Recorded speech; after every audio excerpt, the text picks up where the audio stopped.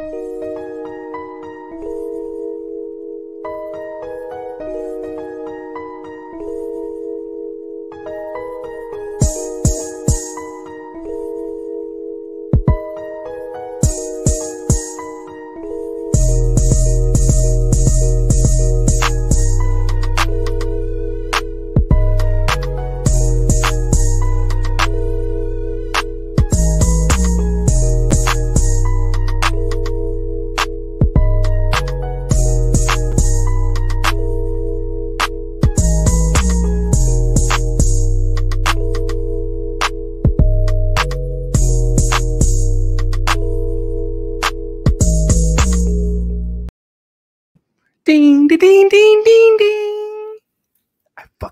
that intro. Why is that the hardest intro in the game?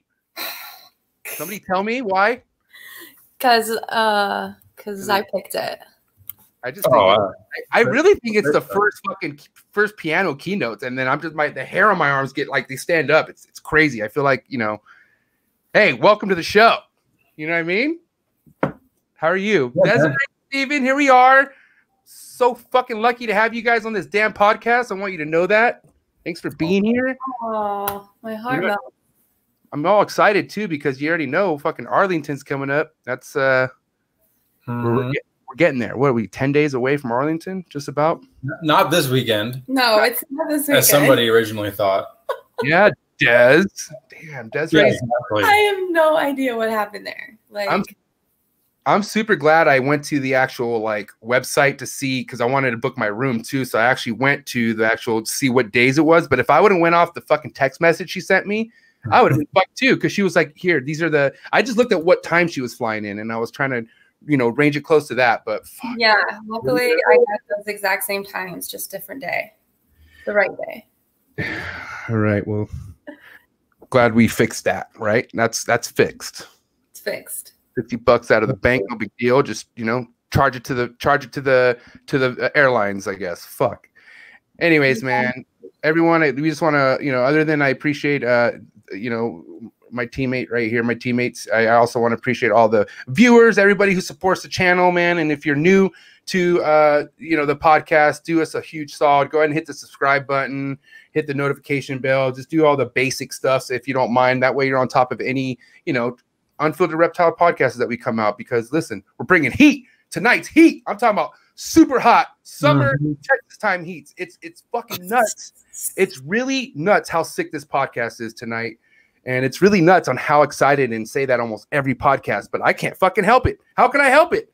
I mean, Steven, bring on the best guests. Like, how can't you just keep getting more excited every major guest we have? You know, Steven, you you know damn well we talked about bringing this guest on a long time ago, and Yeah. uh, been in the discussion for a while. a, That's a sure.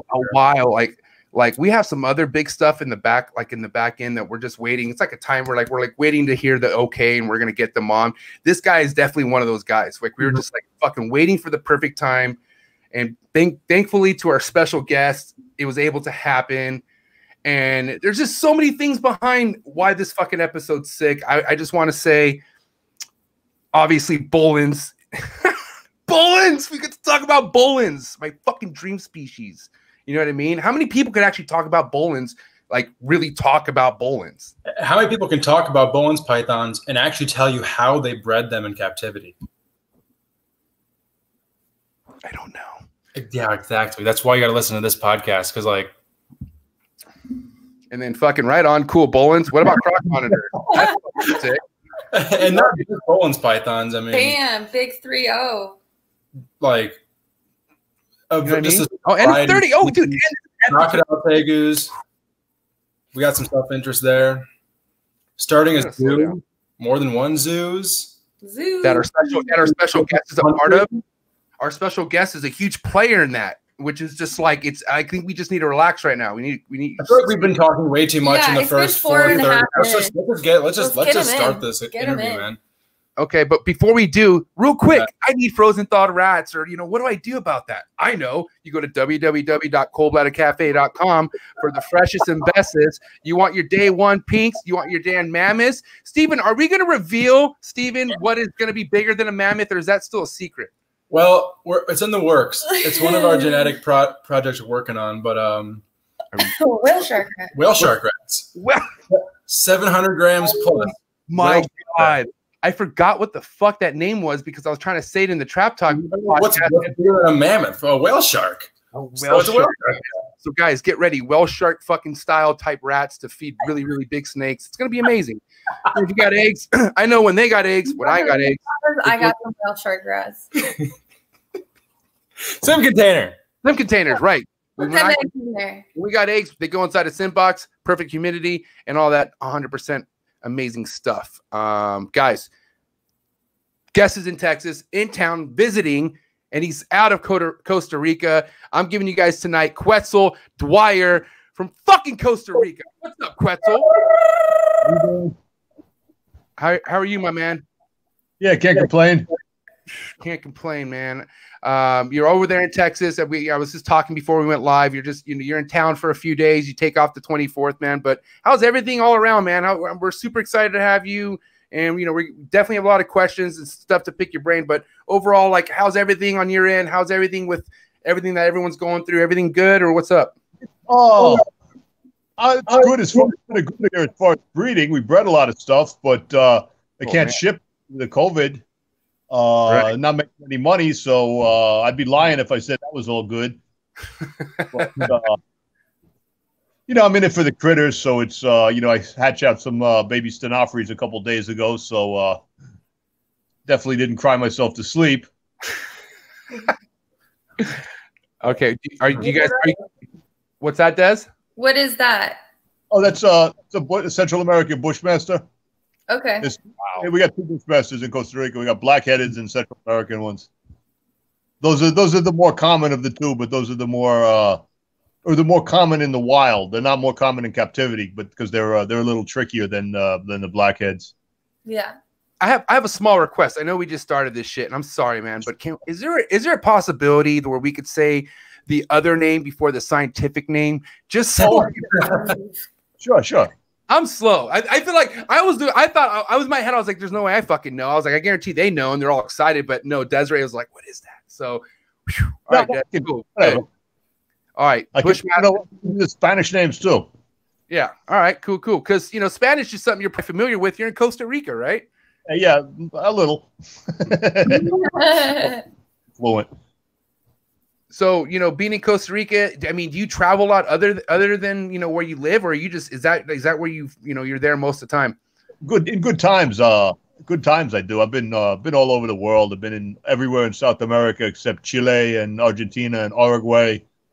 I've been in Indo. I've been in Solomon Islands a couple times. Uh, uh, New Guinea, West Africa, India. Damn. Um, yeah, all all throughout Central America and the Caribbean. Yeah, New Caledonia. That was a great trip. No Yeah, I bet. Jeez. Yeah, No, just to get wondering, you know, the, the Dave Kaufman did a um he did a, a YouTube video there and he was with me and I'll let you guys take a wild guess who was the one who found all the stuff and who was working at the fan. I'm not saying anymore, but uh, I'll Oh let you guys figure that out on you. I think Desiree figured it out. Um, so Quetzal, you live you live in Costa Rica, man. Not too many people like you know when Steven told me like, yeah, this guy's based out of Costa Rica. I was like, what? Like I don't. You're the first guy I know. I that's an actual Costa Rican, you know, resident. So how did that come about? Tell us a little, you know, a little back end story on that. But yeah, when I was uh when I was like 22, I was at uh at an IHS and my uh the lease on my apartment was about up. So half jokingly, I said to Jim Pether, uh, who has got a reptile park in the Canary Islands, I was like, "Hey, what do you say? I come and work with you? You know, the lease on my apartment's about up." And he was like, "Yeah, come on over, but uh, you know, give me two months because you know there's not uh not really going to be anything going on animal wise for a couple of months."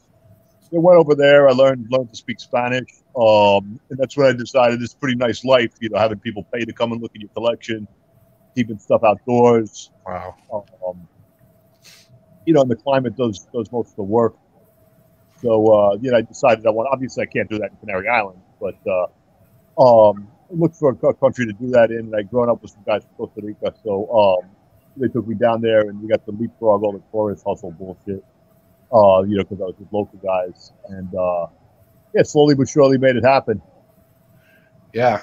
Fuck, dude. So you've been there for how long now? It's going on 24 years. Whew. Yeah, it's quite a while. But Steven! we can only, can only work with. At home. You've been Costa Rica longer than I've been alive. Yeah, That- right. Quetzal, anytime someone says like 20 something years or anything more than 15 years, I look at Steven. he wasn't even around yet. Like he, this guy, you know, and, and- and this kid's definitely legend. He's le- he's a legend for his age, but like he wasn't even here yet. You know what I mean? Still a knucklehead was in, you know. no, I was a I was an egg, not a sperm. Yeah, you were just a dream at that oh, point, bro. Damn. Only so 24 years. You know, obviously, you've, you, have you been at the same place for a while? Like, are you like, you know, what what's your what's your what's your place like? yeah, the, the uh, I went down there specifically to do a reptile park, bought a piece of land, built a house. Um, I did all the house myself because the idea was to make it all, make all the mistakes with the house because that's less important than uh, making mistakes with the zoo. Um, so you figure out like where the rain falls and where the sun hits and all that, all that type of stuff. Right. Uh, and it's uh it's semi outdoors. You know, there's uh there's some like the lizards and the turtles are completely outdoors, but the snakes are in a uh, covered structure. It's got a retractable wor- uh, roof um attached to a boat winch, so you, we can crank it open to let uh let the right amount of sun and the right amount of uh, rain in. Uh, yeah, humidity I'd say is the biggest enemy down there. Oh, You never oh, worry about too uh, too little humidity up here. We, we worry about too much of it. oh shit.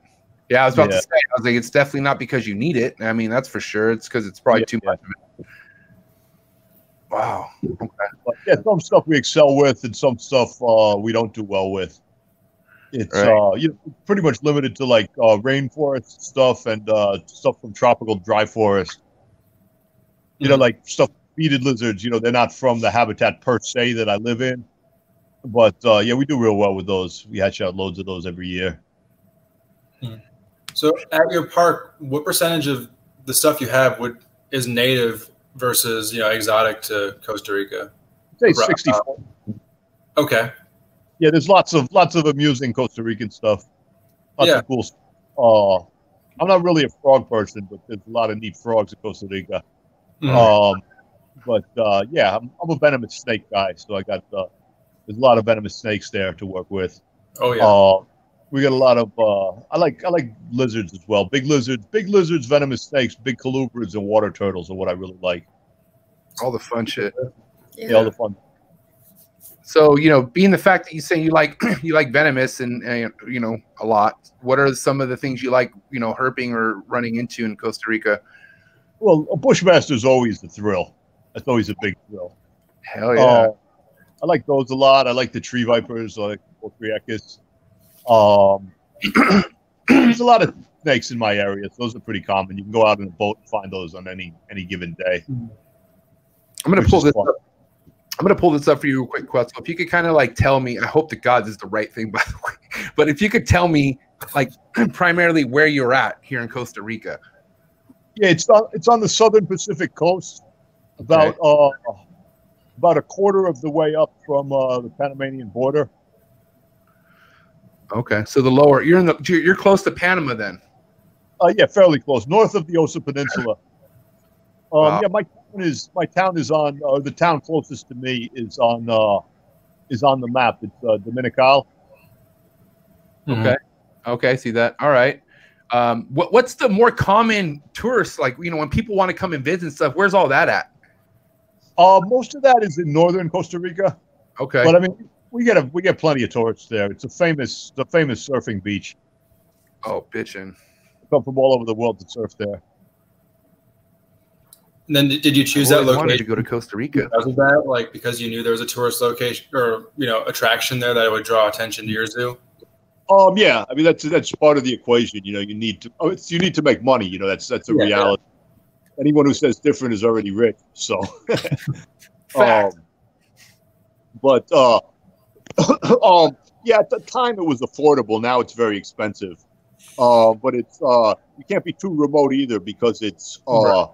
you know, you you got to be able to get supplies and uh, uh, you got to have a hospital close by, and you got to be dealing with glaciers and stuff like that. So you can't be can't be too remote. Mhm. Are there any major like climate differences, or you know, as far as like storms and whatnot, like from different parts of Costa Rica, or are you kind of looking pretty uniform throughout? Um, well, the, the Caribbean coast gets more rain. You know, we get a lot of rain as well. Um, we get earthquakes. We get. Uh, we don't really get. Um, we don't really get hurricanes. Okay. Uh, and it's like where I'm at. Uh, you know, I chose the spot real carefully. I'm in the hills. Um, drainage isn't a problem. Right. Um, Um, and it's like you know, there's so much, there's so much you know, landslides and stuff like that are common there from all the rain. So it's like they know what they're doing, and there's plenty of like, plenty of bulldozers on call. So it's like I've never been never been stranded for very long. During, you know, the tail end of hurricanes, I've been stranded for like four days and stuff. That's okay. It's kind of fun actually. I like with water and you, you dig stuff out of the cupboard. Yeah. Have you ever have you ever lost anything major because of the weather, or like you know had like a huge you know unfortunate accident because of like something sudden that that you weren't really ready for, or anything like that down there? Um, yeah, I we've had uh, like I said, like a lot of humidity related problems we've had there. We had um, we had uh, typically like colubrid snakes are the first to get sick, and then vipers, and last to get uh, to have problems from the humidity of boas and pythons, with the exception of Boelen python. You know, we lost several babies from uh, excessive humidity, Hmm. which was uh, which really sucked. But um, You said. Bol- you said Boelens, right? yeah, when we bred those, we lost several of the babies because of humidity. I was gonna kind of dip into the whole Boelens because you know, you know I'm reading reading. Um, do you know who Ari is, by the way? Just just quick. quick I mean, yeah, I, I have this guy's book. Um, he had a crazy adventure over, you know, on a crazy area where Boelens. are at. Anyways, I don't know if you know him or not, but What could be a real goofball? I just said, you know, the fact. Oh shit! Who Snap. was that? Who was that? Was that him? I don't think that was him. Like his kid or something. It looked like it. it looked like his uh, sponsor or something. um, anyways, so in relation to what I'm talking about here, humidity looked like something that was a really big part of what he was experiencing and going into was like wet, wet, wet. It was all wet. So, I mean, does that go? Is Boelen? Is it not doing good with a lot of humidity in Costa Rica, or what's going on with that? Well, what it is is like, it's like a lot of people don't understand. It's not so much a, a, a reptile's habitat that's important; it's the microhabitat is uh, is a lot more important. And you know, okay, where boelens live in the wild, it's very rainy. It rains every day. Uh, they probably get more rain there than we get. But you know, they live in dry holes, so they come out and bask, and then they'll go into their holes. Uh, but uh, you know, during the uh, during the super rainy season, there's like, um, there's a lot of air humidity, and you know, just recently we hooked up, uh, we got fans all over the place in the breeding area, and that that that has helped. Oh wow! Uh, but yeah, we hatched the Boelens, we didn't have that. Now, are you frequently hatching out boelens? What's what's like? Tell tell us a little bit of your experience with uh, breeding boelens and you know having success rate of hatching them. Right. Well, yeah, we only did it once. I mean, we did several things, uh, several things that very few people do. Uh, you know, we got them in an indoor outdoor enclosure. Uh, it's in, so indoor is air conditioned. Uh, the um, I shot up the female's food with liquid calcium uh, during the breeding season, or uh, and uh, I think the second time I'm almost positive I killed her by overdoing that but you live and learn. You gotta Yeah. nothing ventured, nothing gained. Who's that guy next to you? Do you think he knows anything about boelens or like you know? I don't know. I don't know. Let's let's bring him in. What's up with the guy next to you right over there? Who's that guy? He's kind of creeping. Who is it? I don't know. Oh, look, it's Ari. He does know Ari. Wow, That's What such a coincidence. surprise. this is mind boggling. My mind's Wow. trying to bottle. Holy Dude. shit. Ari Flagel. Hi, Ari. Hey, what's up? How are you guys? What's up, man? Hey, Just man. Just hanging out with uh, your friend. Is this your friend here? Yes, it is. Yes. He's my boss. That's who he is. Yeah, I'm the, I'm the boss. He's the boss. Yeah, I'm the boss. Ari, man. Hell yeah. Ari Flagel in the building, man. What's going on? Round. We're so glad. I knew there was going to be a round two. I didn't know it was going to be this epic, though. This is pretty heavy. I'm not going to lie. Um, so yeah, Ari, we're talking about Boelens right now. I wanted to get you in this, involved you in in the Boelens because um, you know, you, you, what, this is your second or third year pairing Boelens now, or what's what what year are we on now? Bol- uh, if you trying to make this happen, Tenth year, I think. is it really your tenth year? Oh no, I, I, every year I try. Every year I try. Okay, so this is something you've been trying to. You've, this is something you've been going at for quite a while. Then, Oh yeah, I've been I've been I've been working with them since the late '90s, okay, and uh, just working with uh, different ideas and you know formulas and you know you know uh, good luck charms, you know whatever you know all that. The rain dances. Yeah, rain dance. You know, I put a little on. You know, stuff like that. But Yeah. so. Um, Quetzal, a really nice guy of you to to hire someone who's been failing at breeding Boelens for all. I, I can't like what I mean. What do you think? There it What do you, what do you think? No, what do you think of that? No, I'm just saying because like Quetzal's done it. He's done it. So tell me about that. Uh, Like- no, it was I, I, I was incredibly happy for Quetzal, obviously, uh, with that achievement because I mean, it's an, an incredible achievement to be able to reproduce them, as you guys know, and and the people that have been able to do it too. But I mean, I mean, so Quetzal not only you know be, was able to reproduce them, but he's done something that nobody else has done with the species. So he produced twins from an egg on his ball and eye. He wait. He produced what twins? You said. Like the golden one? He said twins. Did he say twins? twin. Yeah, twins. Twins. Two and Yeah. one egg. Two Yeah. and one egg. That means So Yes, one very- two. One egg, two snakes. One egg, two Yeah. snakes. perfect. And they they, they thrive. They, they, they those two are good. Where are they at? Tracking No, numbers? those not way. You know, like for whatever reason, the last part of a snake to develop is like the the um the tail, and so their tails and like reproductive organs weren't completely developed. Fuck. I don't know why that is, but uh, they didn't they didn't they didn't do well. I think one of them might have what, eaten once or twice, but they couldn't. They weren't they weren't fully enough to develop full full well developed enough to pass waste. Oh, if you were if any of you were to guess what that could have been i mean is it just shit luck you, you think there was an issue in incubation like what, what do you think No, no, that's like you know when humans have twins, it's like there's not it happens. Yeah. right but because of that the, because of the twins is why they developed they weren't able to develop to full Right. thriving animals is what you're saying Right, right, because everything else in that clutch uh, came out perfect. damn how many total in the clutch I think it was uh 17. Oh my lanta 17 Yeah, it was a big clutch. The female wasn't big either. She was about as big around as an apple. How old was she? Five years. Oh, God. Five years on the dot. what Five about the male? that's not too old what about Yeah, the male Michael? Male? Look at the Monster female in the uh oh that he has in the shed over here. In the, In the shed. In the shed. Yeah, You know, in my in- shed. in a customized shed, a very Yeah. comfortable shed. Um Yeah. Ari, because you just moved, right? You moved not too long ago. Yeah, Right. uh, I moved about uh, five, five and a half months now. Okay. How was the whole transition and stuff? Everything good? Everything's like, you know, Okay. All the animals and all that stuff are fine, but as as you guys know, moving is terrible. You know, especially you know Sucks.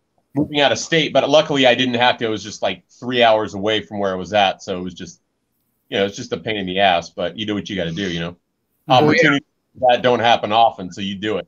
and what was the opportunity? Please tell us, Ari. Oh wow, the opportunity. So, so Quetzal approached me with this uh, fantastic idea. It's been a, a couple years now in the making, I think. Yeah, yeah, I've been thinking about it for a while. and uh, he approached me about uh, having me come on board with him doing a, a brand new facility out here in Texas. That's just going to be like, like basically blow everybody's mind. It's going to be just an incredible um, uh, public exhibition for people uh, slash breeding conservation. Um, and I and I said, yeah, I'm, I'm there. I don't even need to, you know, you don't even need to ask. I'll, I'll just, you know, put in my two weeks now. Yeah, right. Yeah. Wow, that's so sick. Um, Come on. Seriously, it's like without the you know, it's like you can you can only do so much remotely, and you need somebody with an eye for animals You can't have like a contract to build something and say, okay, this is uh this is going to be a snake enclosure. Mm-hmm. No You, know, man, you gotta. you, I don't think you could have found anyone better than Ari. Ari's like he this dude knows his enclosures. I, I, I admire all his enclosures, and you know the thing is like your uh, That's- that- you- That, appreciate that, man. your Boelen's enclosures and stuff, man. I mean, it just you know I, I know it's gonna happen for you at one point, but I'm super surprised that it hasn't because how fucking dialed in you are. Uh, we're gonna do it. yeah, I feel real confident we're gonna Yeah. we're gonna replicate what uh, Quetzal did, um, and and with my ideas also, you know, we're gonna be, uh, we're gonna be do- Boelens are gonna be the not even the cream of the crop of the things that we're gonna be successful with reproducing reproducing rather with some of the uh, the plans and ideas we've got. Yeah, we got a lot of uh a lot of a lot of interesting ideas. Like we're gonna do a two story enclosure for uh Salvadori that crocodile monitors. Wow. You know, with like a like a tank for uh for observation. Yeah, let's talk about that some more. Yeah. So how, how big in total will the, the whole enclosure be? The two story enclosure. So the length the length of it is uh, I believe sixty feet. Yeah, sixty feet. 60 feet and the height is uh, close to 30 feet Damn. So this is It like an actual like Jurassic Park enclosure. Real. and there's going to be about five uh, full-size trees that are going to be hollowed out so we'll be able to have uh, feeding um, access to go up and down the trees at different levels Hmm. and also being able to monitor nesting sites uh, up at elevated levels and we're going to be doing a lot of uh, uh, research related stuff with that too just being able to uh, Yeah. test out different nesting ideas and feeding ideas and things like that so that's just going to be one of the Wow. you're going to be blown away with when you walk into this facility. Yeah, one of the other things too, it's like a lot of a lot of croc monitors in captivity. The leading cause of death for croc monitors is uh is coronary failure, and that's from them turning into people turning them into big slobs, and that uh that's not only you know kills them like that, but it's like the females don't get enough exercise. In my opinion, is like the muscles aren't well de- well enough developed for them to push out the eggs, and that's why a lot of females die egg bound as well. But we're going to do away with all that because there's going to be several trees in the enclosure that are not connected to uh, each other, and we're going to feed them off of different trees, and um, so they're going to be obligated to move. And we got a bunch of ideas for enrichment, you know, just to Hmm. uh, just to make them move. Yeah. Wow. So the, the, the first question that kind of popped in my mind was with nesting in a, in a huge enclosure like that, like you could. I, the first thing in my mind is like, damn, I'd hate to miss a clutch. So uh, I'm I'm thinking obviously you guys have that. So a solution for that, if you can yeah. So talk about that, what are you guys thinking about? yeah, so I've been real fortunate enough uh, to be able to uh, re- uh, to produce multiple clutches of Yeah. croc monitor croc monitor eggs in the past. I had a full term uh, die uh, this early this year, uh, which was a ball buster, but it was a still a pretty sweet achievement. Yeah, it's knowing- still the home stretch. yeah knowing that i did it right so um there's a lot there's definite behavior for females when they're gravid uh, and approaching uh, becoming gravid too so those are the, the real key factors that we're going to be uh, watching uh, i mean it's you you know when she's gravid or she's getting ready to dump eggs uh, so um, Yeah. uh, it, it'd be really exciting to see just how the behavior changes being able to have all that space and all that different kind of stimuli in there You gotta set them with like arboreal nest boxes too, because most likely in the wild, that's where they nest is in tree hollows. Mm-hmm. Yeah. Because you know, from what I, from what little is known about them in the wild, you know, everyone, Ari and uh, others who I talked to who have, uh, um, you know, who are in the know for that, um, they say they live in like uh, basically swamp forest. Um, so that's they either migrate to uh to lay the eggs or they lay them in tree hollows. Hmm. Because it's like there's no way like uh they lay them on the that you that in that habitat, you know, uh eggs that take what like six months or so to hatch would survive on the on the Yeah. forest floor. Um, I have a question real quick to you and uh, Ari Quetzal. Um, how big of a part does food cycling work with any of your pairings or stuff like that? I mean, is, is food cycling really something big for you guys or any of Oh, you guys? I gave I gave a talk uh, you know years back at an IHS for that on that subject. Um, the scenario was that you know like when you're breeding temperate stuff, you know, okay, it hibernates. It hibernates over the winter, and you know that's that's pretty pretty simple.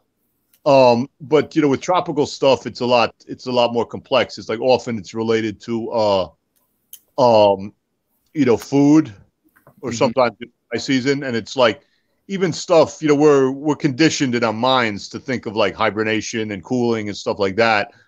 And there's been a couple of cases like you know in those uh, what do they call them? Ackies? Yeah, the ridgetail monitors Mhm. um, you know, people hibernate those and they breed them, but then they did a study. I think it was someone in Germany did it, and it's like that works not because they're being cooled; it works because they're not feeding during the time when they're quote hibernated.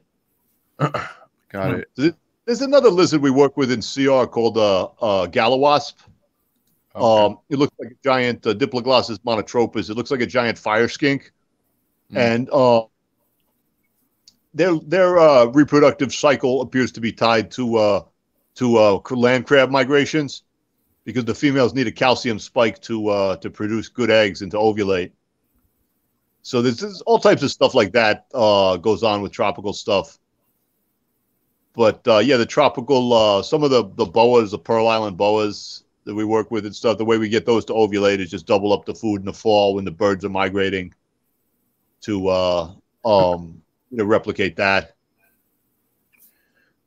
Any uh, any chondros or arboreals you work with down in Costa Rica? Oh yeah, yeah. We work with uh, we got a lot of uh, a lot of Boelens, a lot of uh, emeralds. Uh, we have chondros. They're not big enough to breed yet. We got uh, annulated boas, Pearl Island boas. Uh, yeah, Corallus ruschenbergerii. All right. Yeah, it's pretty interesting. The other, uh, just like a couple of weeks ago, I paired up my uh, Corallus batesii, so I striped emeralds. Um, and uh, as soon as I put the male in, you know, the female did the the the tree boa equivalent of opening her legs. She came over and she smelled them, and then she just dropped her tail down, like a foot down of her tail, She wants it. and he went right away. Cool. Interesting. Nobody, uh, you know, that's a snake that a lot of people work with, but uh, I've never, I've never heard anyone talk about that behavior before. She was a hoe for show. Yeah, she was a good show. Oh, But a, a lot of stuff, a lot of, a lot of courtship is, is female, female instigated. You know, bushmasters do like, uh, they have equivalent for opening their legs as well. It's like when they get in a position, like it looks like a question mark. And, you know, people have showed me pictures. It's like, oh, my bushmaster female's in a question mark position. I think everything's okay. I was like, go out and buy a new car because you're in. yeah, that's game time right there. You're in. It's on. Oh shit, man. Uh, there's some other some other stuff like the Solomon Island spiny monitors, the Varanus spinulosus. Um, I've seen uh, I've seen females instigate the courtship. So this kind of funny story. I'll take a second to tell you that. My right hand man is a Belgian guy named Rule. You know, who's very very quiet and soft spoken. And we're watching the spinulosus female like following the male around and uh, like nudging him and you know all over him. And then like when he finally starts paying attention to her, you know, she runs away. And he, this guy who said like five words all day just looks over at me and he's like, bitch. What? oh man. That's it. It's, that's all he said to you. Huh? Was he calling you a bitch? No, fuck no, fuck you. Those spinulosus. Happened. Oh. But no, he's calling the monitor a bitch. He's like, bitch. That must have been like the fifth or possibly sixth word he said all day. Oh my god. The effective word, you know. Well placed. Yeah, it's on point, you know. A few other words out there. Um, Quetzal. So your Boelens, right? You know, we're obviously we're huge fans. We fucking love Boelens. Um, how did you inquire? You know that. Wow, well, first off, how big's your group of Boelens? How, how many are you working with? Oh shit. How many do I have? I've got like um Jeez. I got six adults and uh like another uh probably another six ba- six babies and yearlings. Okay. oh my god. So you're raising them up for the most part, right? Yeah. Yeah, I mean, okay, these uh the ones I produced this year, uh those will be for sale. But you know, the group I you know for a couple yeah, they we they breed every other year for us. That's I mean, I think like with most live bearers, with the exception of like uh, Lancehead vipers and uh, hognose vipers, you're better off letting them letting them rest a year. Damn. Can you ship to the United States? Just curious. Yeah, well, I normally do. That's a bit of a sour subject right now because uh, I'm sitting on you know, literally hundreds of hundreds of snakes and lizards right now that I can't ship because Delta uh, is the only airline that'll take um, take venomous. Uh, so uh, I can't I can't make any shipments until Delta starts flying to Costa Rica again. Mhm. Yeah, yeah, we've been uh, experiencing issues with that too, shipping stuff with Delta. It's been very frustrating. I mean, is there any end in sight with that? Like, do you have any insight on that? I heard No. September they were going to go back to daily flights to certain places. Costa Rica was on there. At least Oh, really? Was yeah. Oh, that's music to my ears. I mean, it's like it would make sense because the flight that uh, the flight that I use is from L.A. It's the only direct flight from L.A. and uh, that'd make sense that you know because there's a lot of money in that part of the country. So, but I mean, California is not like the way it is right now with the COVID. Is they're uh, they're not uh, they're letting uh, people in from certain states that have their act together with the COVID, which is like you know New York and New Jersey, and New Hampshire, and Connecticut. Colorado, I think, as well. Um, but uh, yeah, California is not on the list yet, and neither is Georgia. So, uh, I mean, I, I I don't think Delta's going to start flying until uh, until uh, until those states get uh, get Yeah. cleared. That would make sense. Yeah. I'd agree with that. Yeah, I have to. I mean, I couldn't get anything from Delta to San Diego. I got to go to all the way to LA to pick it up this Saturday. Yeah, Probably, I guess you're right. As far as them sending shit, I think it's only to big major fucking facilities or something like that. Where, like you said, where the real like where all the money's coming in at. Yeah. Just I mean, if I could get them to the states, I could work something out. You know, there's brokers in, in Florida. There's brokers in uh, in California. You know, it's uh yeah. Anyway, it's a sour subject. So. Well, day by day by day, let's see what happens. You know, we'll fucking take it. You know, that's all we can do. Um, you doing all right over there, Harry? Harry, you look you look pretty happy. Yeah, chilling. So, Ari, let's uh, let's talk a little bit more about the zoo, okay? Um, you- Sure. Hold the Yeah, yeah, I'll hold the phone. hold the phone. Yeah, Yeah, poor yeah. fucking Spetzel. He's been holding it this entire time.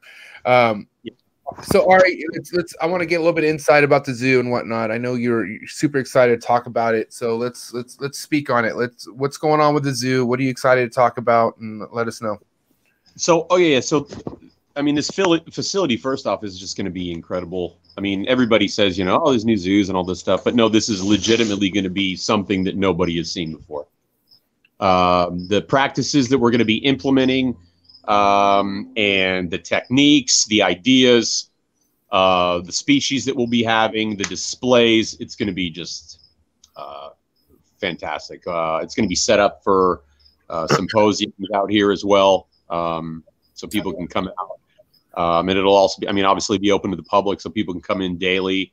Uh, and then we'll be reproducing animals, um, you know, for, for our stock and, and uh, shipping out to other facilities and whatnot too. So, um, and then the, uh, the collection of animals we'll be working with, it's, it's not just going to be like ridiculously rare species. It's going to be common species, but set up in the way that they should be set up so that you can see them behave normally and uh, observe all these incredible interactions and behaviors and whatnot too. But I mean, we're also gonna have some pretty fucking hardcore species too. I mean, like you know, like mang vipers and Fea's vipers and you know stuff like that. I mean, walking into a room with a 60 foot by 30 foot high, you know, croc monitor enclosure is going to be pretty impressive. So I'm excited for that.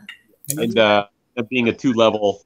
Um, so it's going to be really great, and uh, we're going to focus really heavily on conservation, also, um, and just educating the public on you know what we're doing and what you know what the future is, and and you know and and how they can get involved and what they you know and, you know bring their kids here. We'll do night camps and all that stuff. So it's going to be it's going to be a really incredible place, um, and open for. Uh, I hope to um, in the next couple of years also be able to um, do like a lot of. Uh, like I said, kind of symposiums and like events going on too, and then for expansions as well. Do you, So to be, you have to be a kid for the night camps? Sorry, Steven.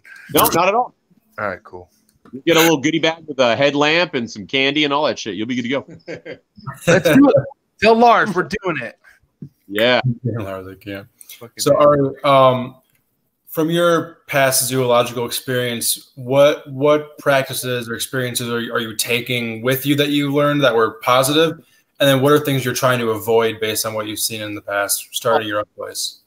Great question. Yeah, real good question. So I learned. I, I mean, I so I I have a, uh, 11 years working in a professional AZA facility, and I learned a lot of really useful information. And I learned a lot of information that wasn't useful and didn't really apply to anything, you know, that was beneficial at all. So I'm taking things like you know quarantine procedures, how to set up certain things um, on that level, and being able to incorporate it into this new facility, and then.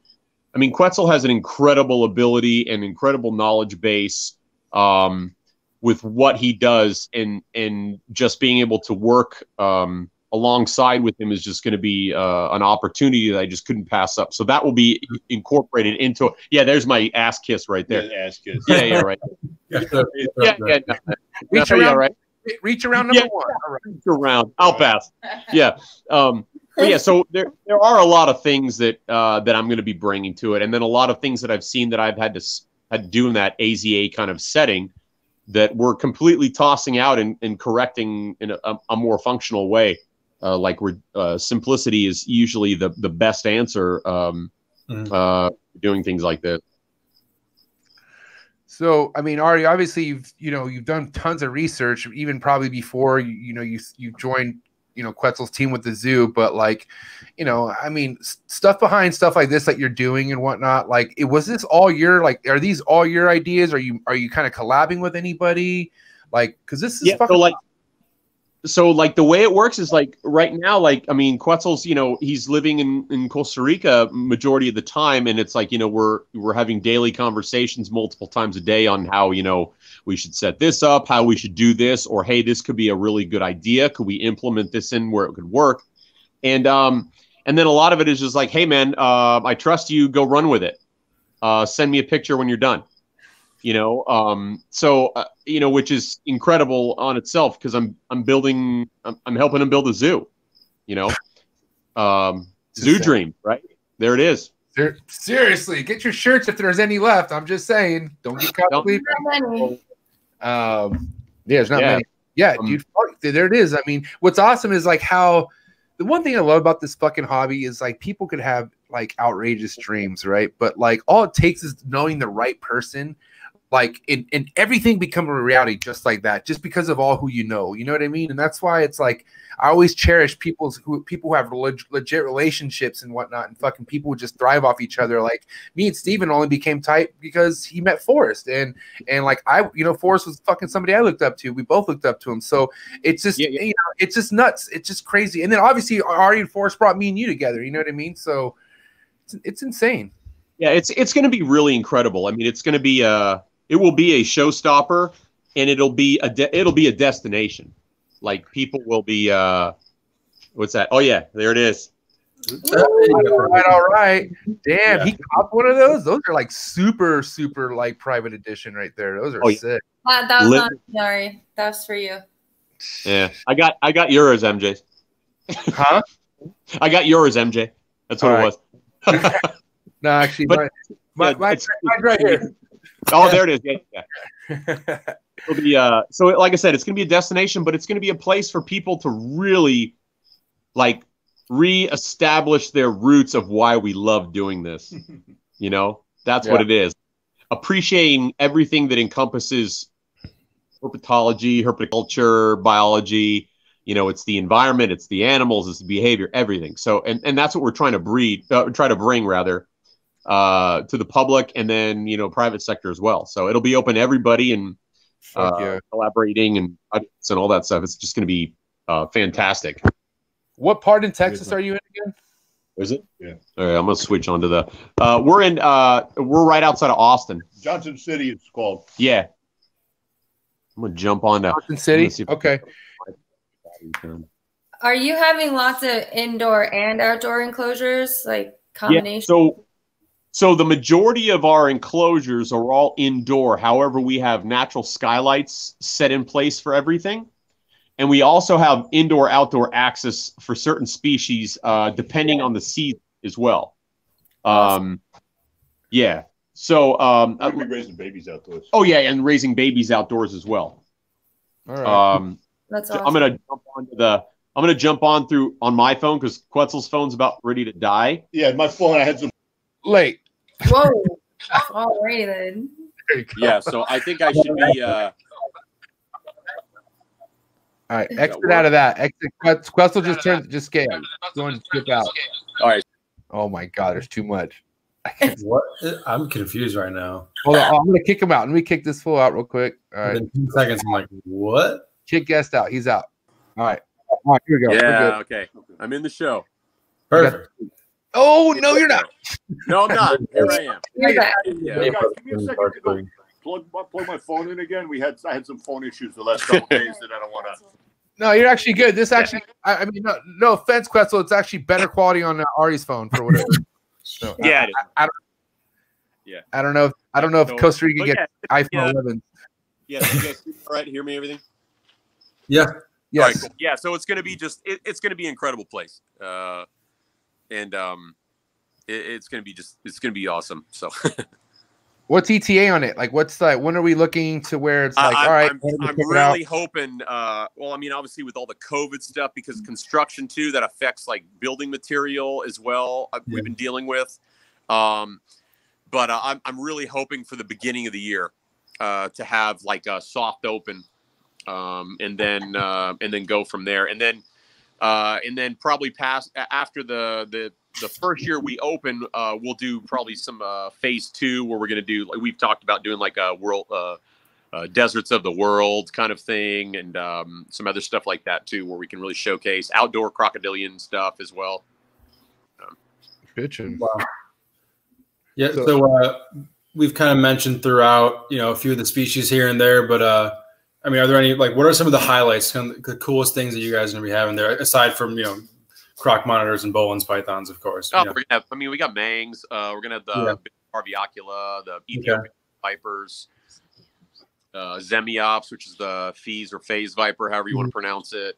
Damn. Um, some um, really cool, uh, obscure little lizards. I've been really enjoying working these uh, Phrynocephalus mystaceus, those agamids from um, um, from uh, the Middle East, Hmm. uh, toadhead agamids, uh, things like that, um, and just some. Re- I mean, I mean, it's, I don't want to ruin the whole thing, Yeah. No. Don't, you don't have to- yeah. but uh, yeah, I mean, it's it's going to be very very cool. Um, uh, and then uh, focusing on like a, you know like North American swamps, uh, a Caribbean island boa enclosure, um, things like that, European stuff. Um, uh, yeah, so it'll be uh, it's gonna be cool. Mm, So there's gonna be a pretty heavy venomous influence in the facility. Yeah, Right. we're gonna have a lot of venomous stuff in there. Uh, I wouldn't say it's gonna be heavy venomous. We're gonna have like we're gonna be pulling a lot of key species that we really want to work with. Uh, There's Nichii, Ceratophora, uh, some different species of crotalus, like some of the rattlesnakes, um, a lot of arboreal vipers and things like that too, um, and your your your basic things too. But what, we're gonna have a really nice. Uh, variation of uh, uh, variety of species that, that people can really observe and see. Wow. I can't wait. It's gonna be super sick. Yeah, how it's big? be, How how big exactly is it roughly? Like how many like acres or whatever? So- do you- uh, so we're on 10 acres. Damn. Um, and uh, we've got uh, two buildings uh, nearing completion. We have our, our front uh, first building, which uh, houses our three quarantine rooms, um, a housing room, obviously, you know, gift shop and stuff like that for the public. Uh, and then we have our temperate building, which is all temperate species. Um, and it's got uh, 20, I believe, one, two, three, four. Yeah, 20 large enclosures. They're about 20 feet by 8 feet tall by 5 feet deep, I think, roughly. I'm- I might be butchering that up. Um, large aqua terrariums and such. And then in the main structure, which is the tropics, uh, the tropical building, um, we're going to have a, it's a, a two levels. Uh, bottom level, we're going to have all these large canisters that are going to be fabricated for enclosures. Uh, and then there'll be an upper level too, which gives you vantage points to obviously see the Salvadori um, enclosure from the top and then the bottom. So a lot of fish, a lot of tur- a lot of stuff like that, um, and then just you know room for expansion. Uh, uh, you know, down the road. Are you doing mammals? Good question. I was gonna Uh. Probably not. Uh, we might maybe something small, but it's mostly going to be reptiles. Maybe some, maybe a little bit of uh, birds in there. I mean, we're going to have birds and stuff with some of the vipers, but I mean, it's obviously because of the feeding behavior. You know, like uh, the mang vipers. You know, feeding off of birds in the wild, so we can Yeah. be able to do that. But we might have a couple things. I keep trying to, you know, twist Quetzal's arm because I need cassowary. So. You don't have to twist my arm. That Yeah. What is- Oh, Costa. Wait, you don't know what those are, Des? No. Oh What my did you- Manta. Hold on. I'll get, Like velociraptors, literally. they will freaking kill Yeah, you. How about close. they are nuts. Yeah, Um, they're- you want you want to explain to uh, Des real quick what a cassowary is? Yeah, it's a big ass bird. It's like an emu, but it's uh, it's got this huge crest on its head, and it will. Uh, let's see. Okay. Yeah, yeah, yeah, where it is. Yeah, I know what you're talking about now. Yeah. Somebody died in Florida. An old dude who's kept him for years died. He got gutted, and uh, Get out. Yeah. Yeah, he, he R.I.P. to that dude. But yeah, he got gutted, and and and you want to know why he got gutted, Des? I'm gonna show you why he got gutted because these things have crazy talons that literally look like like if Michael Myers could be a bird, like this would be it. You know what I mean? Because this thing's no joke. Like look how big that thing is right there. I think it's sever a neck. Pretty gnarly, right? So yeah, Yeah. Yeah. Quetzal, what up? So we'll probably- get a You might get a pair. uh, Yeah, you should up. get a pair of those for sure. Look at that thing. Oh yeah, yeah, there it is. But yeah, it's mostly going to be reptiles and fish. Um, but I mean, who knows down the road? I mean, uh, you know, we might Yeah, do some birds Maybe a sloth or two. a sloth. Yeah. Right there, right there at the entrance. That'd be sick. You know, just you're going to the story, like so I first worked with a sloth once when I was working at a a, a, a a reptile shop, and they had one come in, and I was like expecting it to be like this kind of teddy bear thing, and it was one of the strongest animals I've ever tried holding in my entire life. Yeah. strongest? Like what do you like? Like like wearing you down? Or what was it doing to you? Oh, wore me, wore me out, not down, wore me out. A sloth. Yeah. Slow ass motherfuckers. Yeah, yeah, it was- it was strong, crazy. And uh, Tamandua put his claws through my palms of my hands, like stigmata too. So or just get some monkeys. Monkeys are scary. I don't No. fucking like- no, Yeah. I don't need anything that's going to jump on my shoulder and jerk off at me. Sorry, Weird. I've had a Wow. couple. Had a couple so okay. Why did we go there? Eh, I knew I was gonna go there at least once. yeah, MJ was going to go there. Okay. Bob, Bob Smith email coming very short. Be ready. Be ready for Bob Smith's uh, email. Yeah, are you guys gonna be keeping crocodiles? Yeah, we're going to be doing um, uh, a uh, probably a small bit of crocodilians. Not going to really heavily focus on it just because of all the space required for it. You know, Ob- obviously, you know. Um, but we're gonna we're gonna key in some of the few species that we might really want to work with. Um, I'd really like to bring in a big salty so we could have a salty uh, for that. Um, and, and there's still talks about like what we're going to incorporate um, um, down the road and everything like that. But yeah, I mean, we'd like to. Um, um, we'll just see how it goes. Yeah, for Hey, sure. Hey Quetzal, I got to. Uh, thanks, Ari. You're amazing. Yeah, yeah, yeah. Uh, Quetzal, uh, I, I had something that popped up, over, uh, you know, in my head while Ari was speaking, um, because I was, Was you it know, the was- monkey comment? no, not the monkey comment. But what do you do with vet- what you you know what you know any kind of like veterinarian attention and stuff like that? Are you experienced with that stuff, or like what, what's your go to when when stuff happens? You know, when shit hits Um, basically with a snake or an animal. Yeah, I've myself and my Really? staff, we got a fair amount of experience with it. Um, Okay. But uh, there is a local vet who uh, who does uh, who who does help us out. I mean, it's not like a specialized reptile vet like you would run into up here. Right. Uh, yeah, the guy, the guy's definitely the guy down there has definitely helped us out a couple times. Okay. Because if like is, is like sewing up a monitor from like a bite a big deal, or is that something that easy that you guys can do, or like you know if like if they get into it and they you know they kind of gash them up pretty good, or like is that something that needs you know other kind of attention? Yeah, we we've done that before, and we've had a vet do it before as well.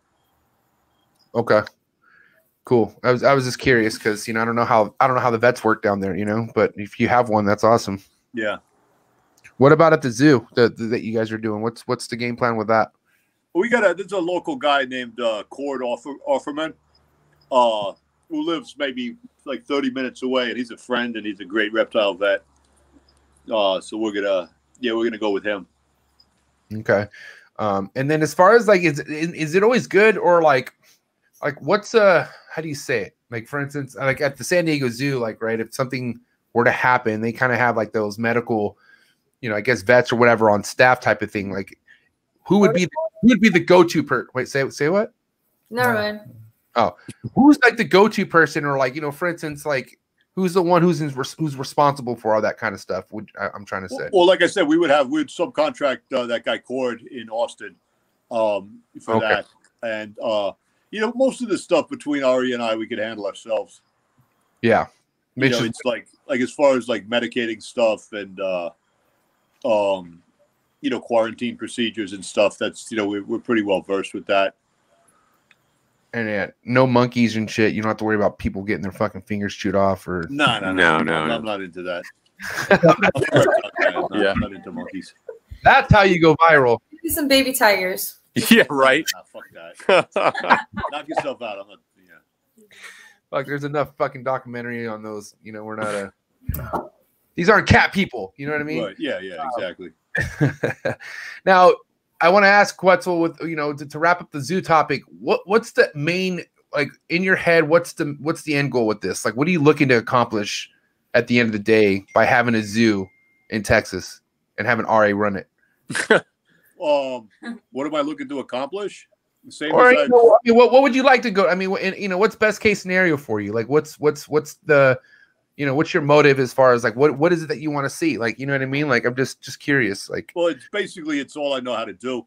you know, um, or Nice. all I know how to do well, and uh, I can uh, yeah just have people pay to look at a rep, look at a really nice reptile collection, do field work, do conservation work, breed stuff, publish.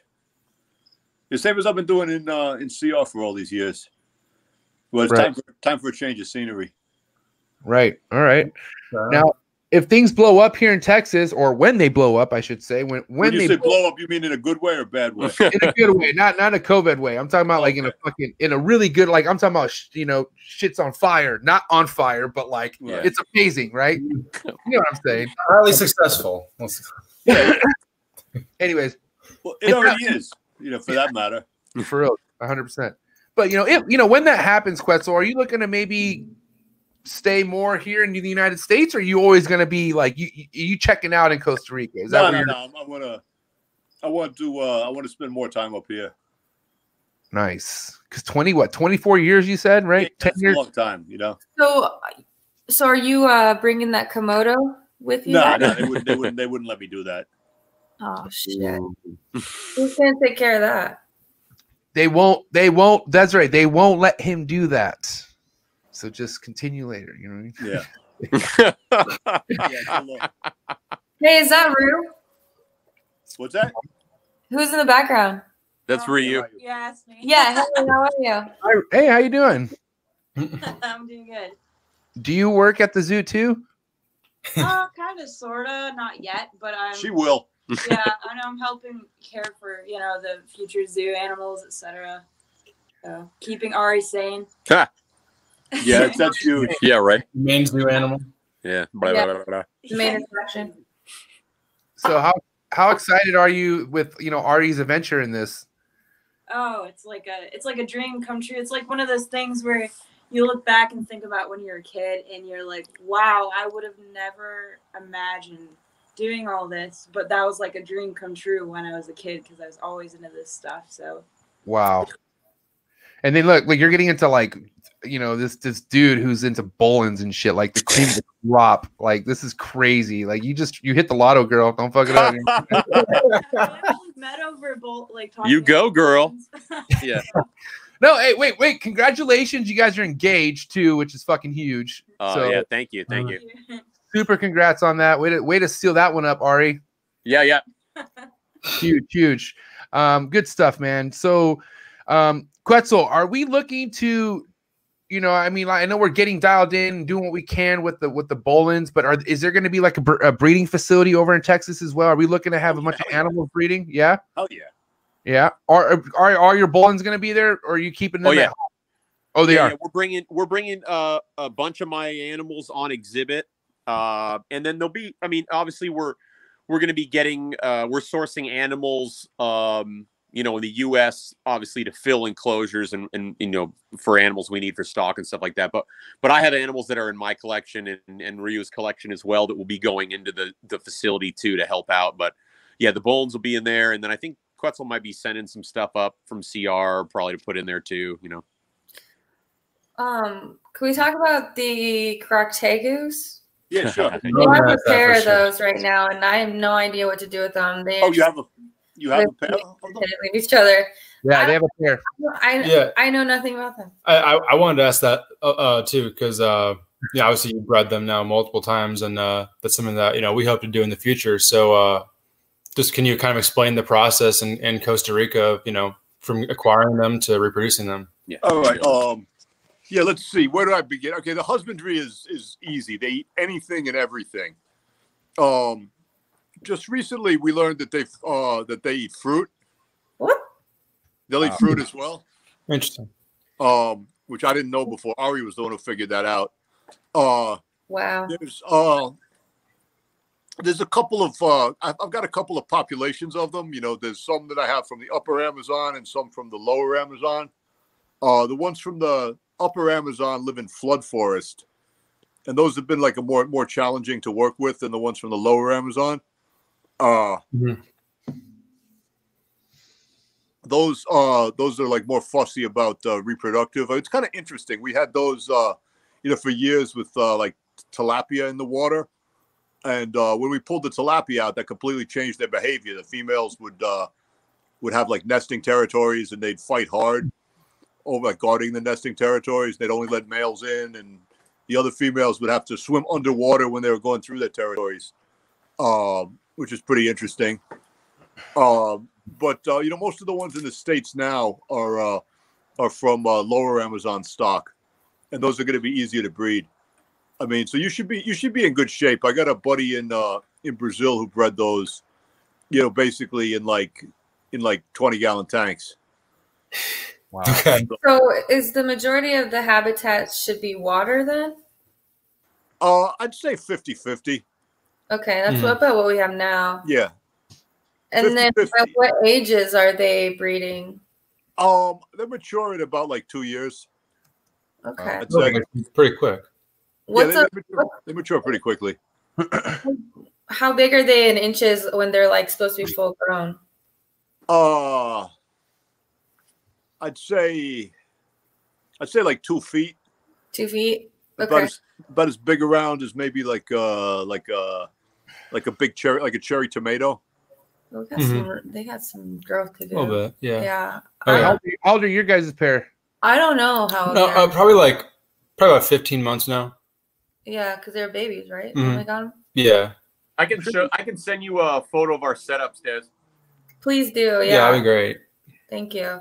Yeah, they like they like uh, they like it hot and then they definitely need UV. I'm sure you thought yeah yeah we got one UV too those are definitely definitely one of my favorite lizards. Yeah? I, I, wish that we could find some way to, to make them present themselves more. They, they always seem to be either burrowed or kind of nuzzled in the water under leaves and stuff like that. Yeah, that's the one thing about the lower Amazon ones. Those are they're very shy. They're shyer than the upper Amazon ones. Mhm. You uh, you recently saw, saw him out though, right? I don't if it, believe it was you, Steven. You posted a story, or was it Jay, your worker? But it was actually out chilling by the glass. The- the- Oh, Yeah, yeah. Well, I, I did too. No, I mean uh, every They now have, and every now and then they do They they do. You know, every now and hon- then. honestly, you kind of have to walk in the room when uh no one's been in there for a while and kind of catch them off guard a little bit, and they see you and they'll like sit there for a second and run away. But you know, I mean, they're they're beautiful animals, and like their their pattern really is unlike anything else. I just I wish I could see them more, but. Do you think that might come with age too? Like once they mature and once they're breeding, they might be a little more bold. I'd say so. hmm It it just takes time. Yeah. Mhm. right. Um, so are, are you keeping your adults in groups in Costa Rica? Yeah, yeah. I keep them in groups. Okay, what's the sex ratio that you're running them at? Um, like one point uh one point two. I'll do. Oh, okay. How, how big of enclosures are they in? Uh, yeah, it's, it's real big. I'd say uh, I'd say like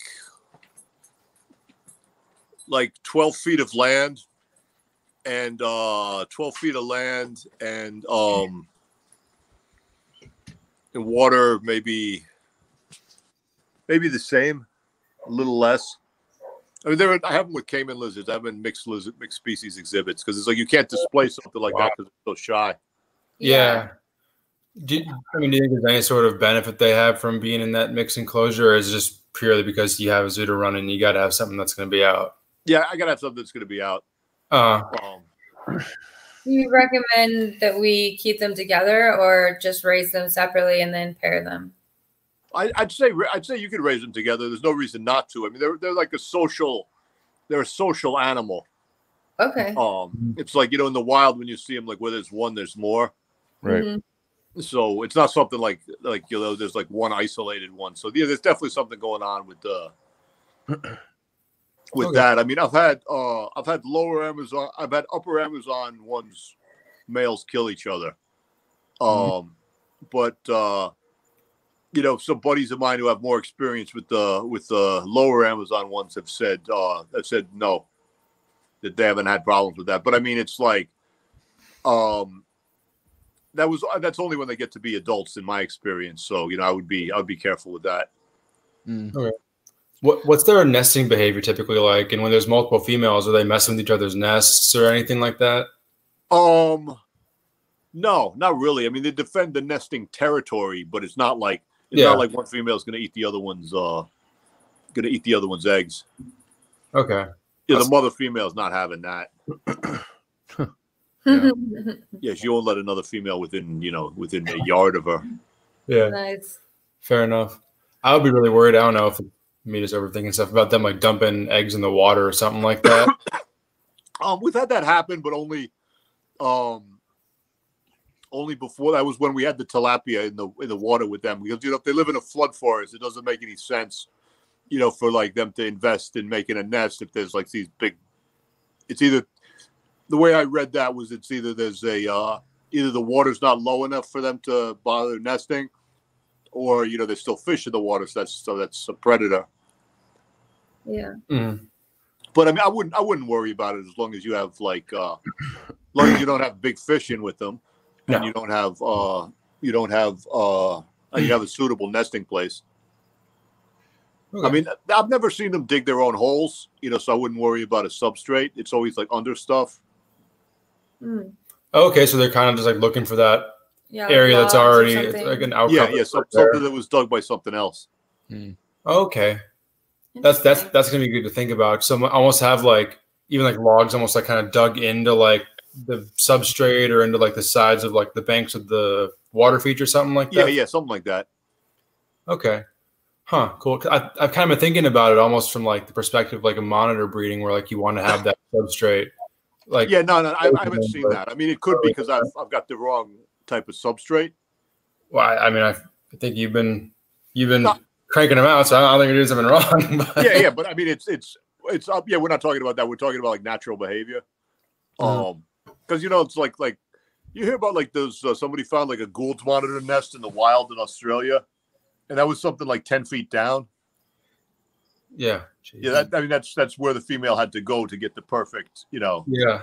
Temperature. um, Wow, you know, the perfect like humidity and temperature. But uh, yeah, I wouldn't worry too much about that. I would These these these, these uh crocodile tegus we speak of, they're not cheap. They're very expensive. Am I right? Am I or am I wrong? Well, yeah, it took me a long time to figure out how to do it.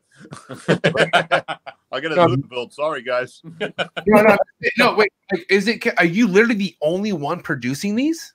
No, there's a couple of people who have. A buddy of mine in Brazil actually sent me a picture of uh, of one that he hatched out this morning. Actually, Oh wow, that's awesome. How do you sex them? Do we make sure we have a pair? um, there's I think if I'm remembering correctly, I, I, I work with so much stuff, and my memory is not what it was when I was 20. um, so you're gonna have to excuse me on that. But it's a noticeable difference around the vent. It's like scales. I, I think there's one scale that's like egg shaped there, but I might be thinking about another critter. But it, it's if you look at the vents, um, That's gonna be different. and you hold them, you hold them together, they're, they're- they're noticeably different. Okay. All right. And you know when they get when they get some size on them, the males are bigger, and the females have a different like body structure to them. They're kind of like uh, like kind of like pear shaped. They're heavy, heavier towards the back. Mm-hmm. Yeah, we, we just uh we've been raising them separately. We just kind of wanted to, you know, make sure that one wasn't eating more than the other necessarily. Um, and they definitely grown a lot in the first year, but it- slowly it, it wasn't super noticeable until like we put them next to each other. And the larger one does seem to have some structural differences, like a like a larger head and a more like streamlined body than the smaller one. I'm kind of thinking just maybe that's you know the bigger one's a male, smaller one's a female, but we'll definitely have to do the uh, yeah, yeah, that, that sounds sounds like sounds that sounds like you have a pair. hmm Yeah, I mean, the, the male is probably like uh, 20, 30% bigger than than the female or the uh, the supposed one, and they're the same same age, came to us at the same size. And you never you never heard them make any noise, right? Like when you grab them. Um, unless it was me, like, like you know, cursing because they they're biting me. Other than that, no. Right.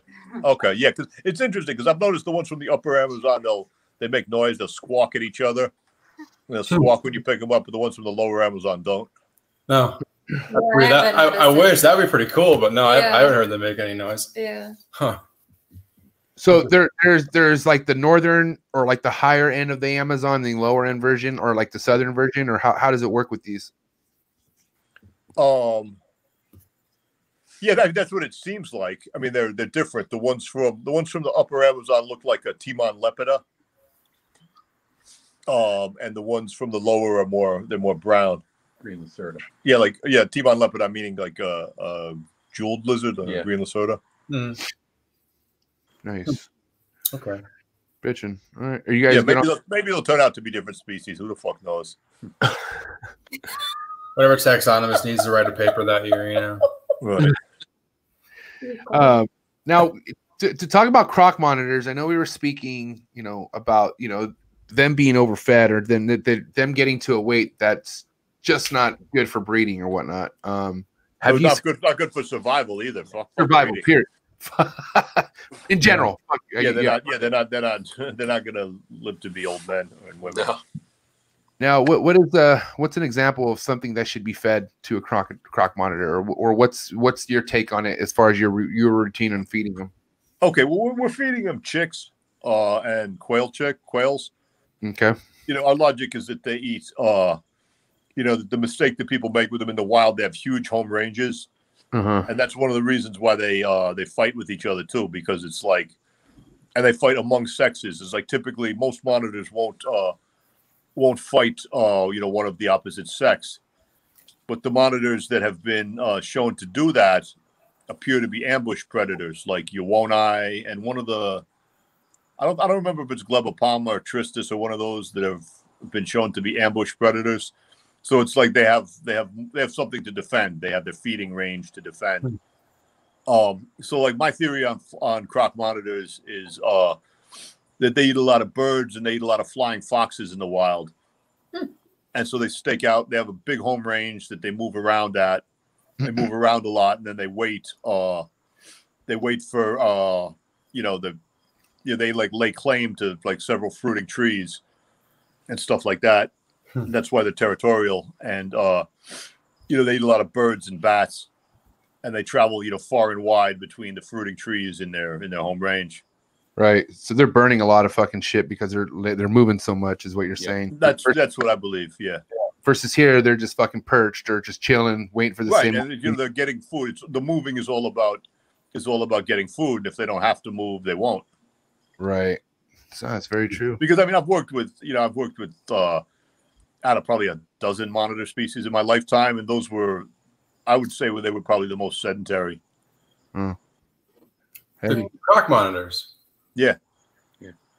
That's Huh. because people make them that way. I guess. Right. I And like are, are There's, fairly there's, active. wait, there's a ton.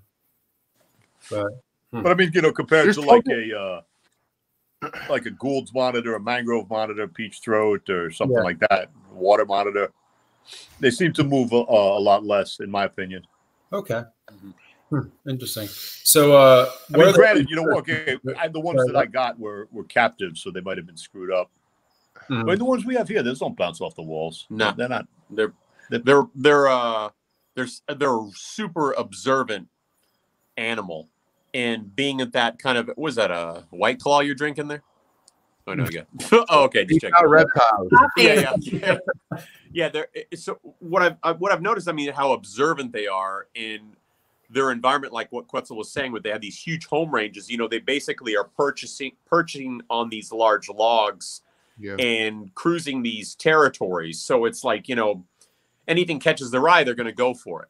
You know, Mhm. and unfortunately, uh, with a lot of captive species, in my opinion, when we feed like this, the animals always appear to be hungry. Well, it's a learned behavior that we're Yeah. teaching them essentially. Every Right. time that cage opens, they think they're going to get food. So obviously, we say, "Oh, we got to feed them," based off Yeah. the behavior.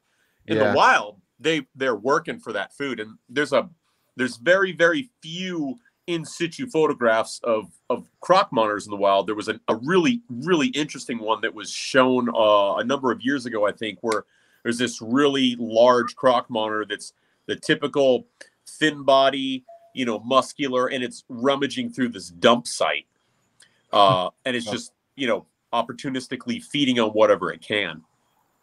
wow, Damn. Crazy. that's insane. Yeah. Yeah. Point, too.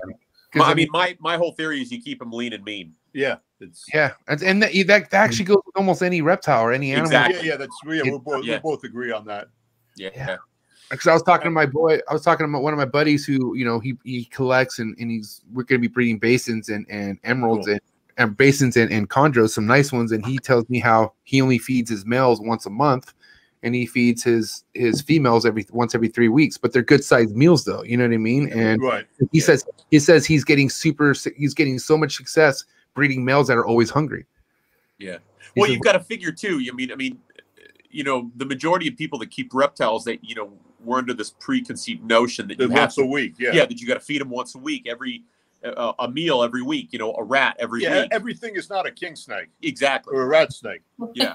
You know, if you, you're talking about indigos, you know, you Oh, yeah. you're not going to feed an indigo once a week. You can feed an indigo every couple days. Yeah. yeah, And then there's and but there are some species that have to require to be fed that have to feed every day. Yeah, like any any fish eating snake, any fish eating snake eats. You know, is going to eat a lot of food. It's going to need a lot of food. right. But uh, but yeah, like any as for me, like like all the tree vipers I work with and the tree boas, you know, those get once a month as well. Mhm. I mean, breeding season, you know, we'll put we'll double that up for the females because Right. it takes a lot out of them to uh to uh you know the breeding. Yeah, and I mean most of these the snakes too, like the basins and these and the chondros and stuff like that too. They're, they're mostly they're like an ambush. Yeah, they're ambush feeders. I mean, it's- Yeah. a rat doesn't walk by every, every Exactly. So they could be sitting Exactly. on that same stick, you know, for a month before something walks by or gets close enough where they snag it. Right. Damn. So true, man. This is straight. What- I What other monitor species are you working with? Um, I got uh, Black Salvator. I got a Komodo. I got uh, Spinulosus. Um, what else? You guys need spinulosus, Des. Okay. That's yeah, that's Yeah. one, one of the few. Yeah. Send it over. You like them? Yeah, yeah, you need them. Well, okay. In my life, I've had I'll uh, find I've had for I've had Macraei. Um, I've had Indicus. I had Peach Throats. Mhm. I had Scalaris. I had uh, Blue Tail monitors. They have Yuwonoi and Jobiensis. They have what you want Yeah, they have what Yuwonoi. Hey, you guys have Yuwonoi? Yeah, you got a one one you got a male. individual. Huh? I ha- yeah, I'm pretty sure it's a female. I'm not 100, Yeah, percent we're, we're not, but not sure, but we have What's one. you wanna? What's you wanna? It's a Tricolor. tricolor monitor. They call them. Oh my god, that thing is so hard. Is, is she super? Is she super shy? Yeah, it, so it, it's interesting. Yes and no. Um, I got a pair. it, it like so we had in this enclosure that they're like it was visually completely isolated where it, it couldn't see in or out and um it was it obviously always really shy burrowed a lot but then as it got more accustomed to feeding in there it would be out all the time and would start charging the front looking for stuff and would you know just got really bold started almost like I, I never heard that about a Yuwonoi. I mean, I thought about I thought about getting those for my place in CR, but uh, you know, then when I learned about how shy they were, I was like, yeah, I'm never, I'm never going to see them. And Yeah, so we had it in an enclosure that was like deeper than it was wide, and we had a Right. croc monitor right next to it, and that croc monitor went somewhere else. So we combined the two enclosures, where the croc monitor's enclosure had a screen front. right, So now, now you can see into you can see in from half of the enclosure, and it's a, it's Right. been a lot more reclusive recently, but like it's been starting to come around a little bit more where it'll be out more frequently. It hasn't been tongue feeding unless it's like right at the front already right, but uh it, it's like it's not necessarily acting like a typical tricolor where it's just super reclusive and and uh, hiding all the time which is Yeah. it's nice for us we get we get to see it Yeah. Uh, we right, Yeah, they're incredible well. animals. yeah, it's a It's gorgeous, gorgeous animal. I mean, you should, you should definitely, definitely pair that animal up. Yeah.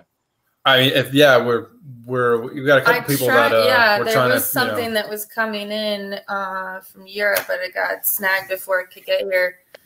So that's just the problem is like they've Yeah. just never imported it That's I mean Right. that, that's not an easy monitor to get your hands on, huh? Yeah, no, you don't see them very often. I mean, I got a buddy who. Do you ever read this paper by this guy named Walter Walter with a V, uh, Weijola? I think I don't know if I'm saying that right. He's Finnish. He's got a weird name, but he sounds familiar. it's he did a paper on those. It's available on, uh, or it's a paper of the monitors of Halmahera, Mhm. and you know he talks about. uh He went over there and you did some field work with those. It's available on Biawak. I'm sure you can pull it up online. Okay. Um, and he seems to think that they're, uh, and you know, I know him, and he's solid, solid guy, solid field guy. Um, that they're, uh, they eat a lot of megapodes, Hmm. and that they'll have within their range like several megapode nests that they claim. So those will those will fight among the sexes. They're one of the few monitors that'll do that. Um, so yeah, that's something to consider when you're pairing them up. Hmm. yeah that's definitely one of the one of the scarier ones to you know think about breeding. Like they're the jaw pressure on those is just Oh yeah, insane. Oh, I didn't know that. Yeah, I, I mean, I I think other than the croc monitors, I don't think there's a monitor I'd want to get bit by less. Like, I occasionally like I see like bite a glove or something, and they'll hang on for like half an hour, and you can't you can't get that glove away from that lizard no matter what you do. Really? Yeah, their jaw pressure is it's ridiculous, and I I, I think they're the, the fastest monitors I've encountered. I probably had like worked like 15 different species here and there, Right.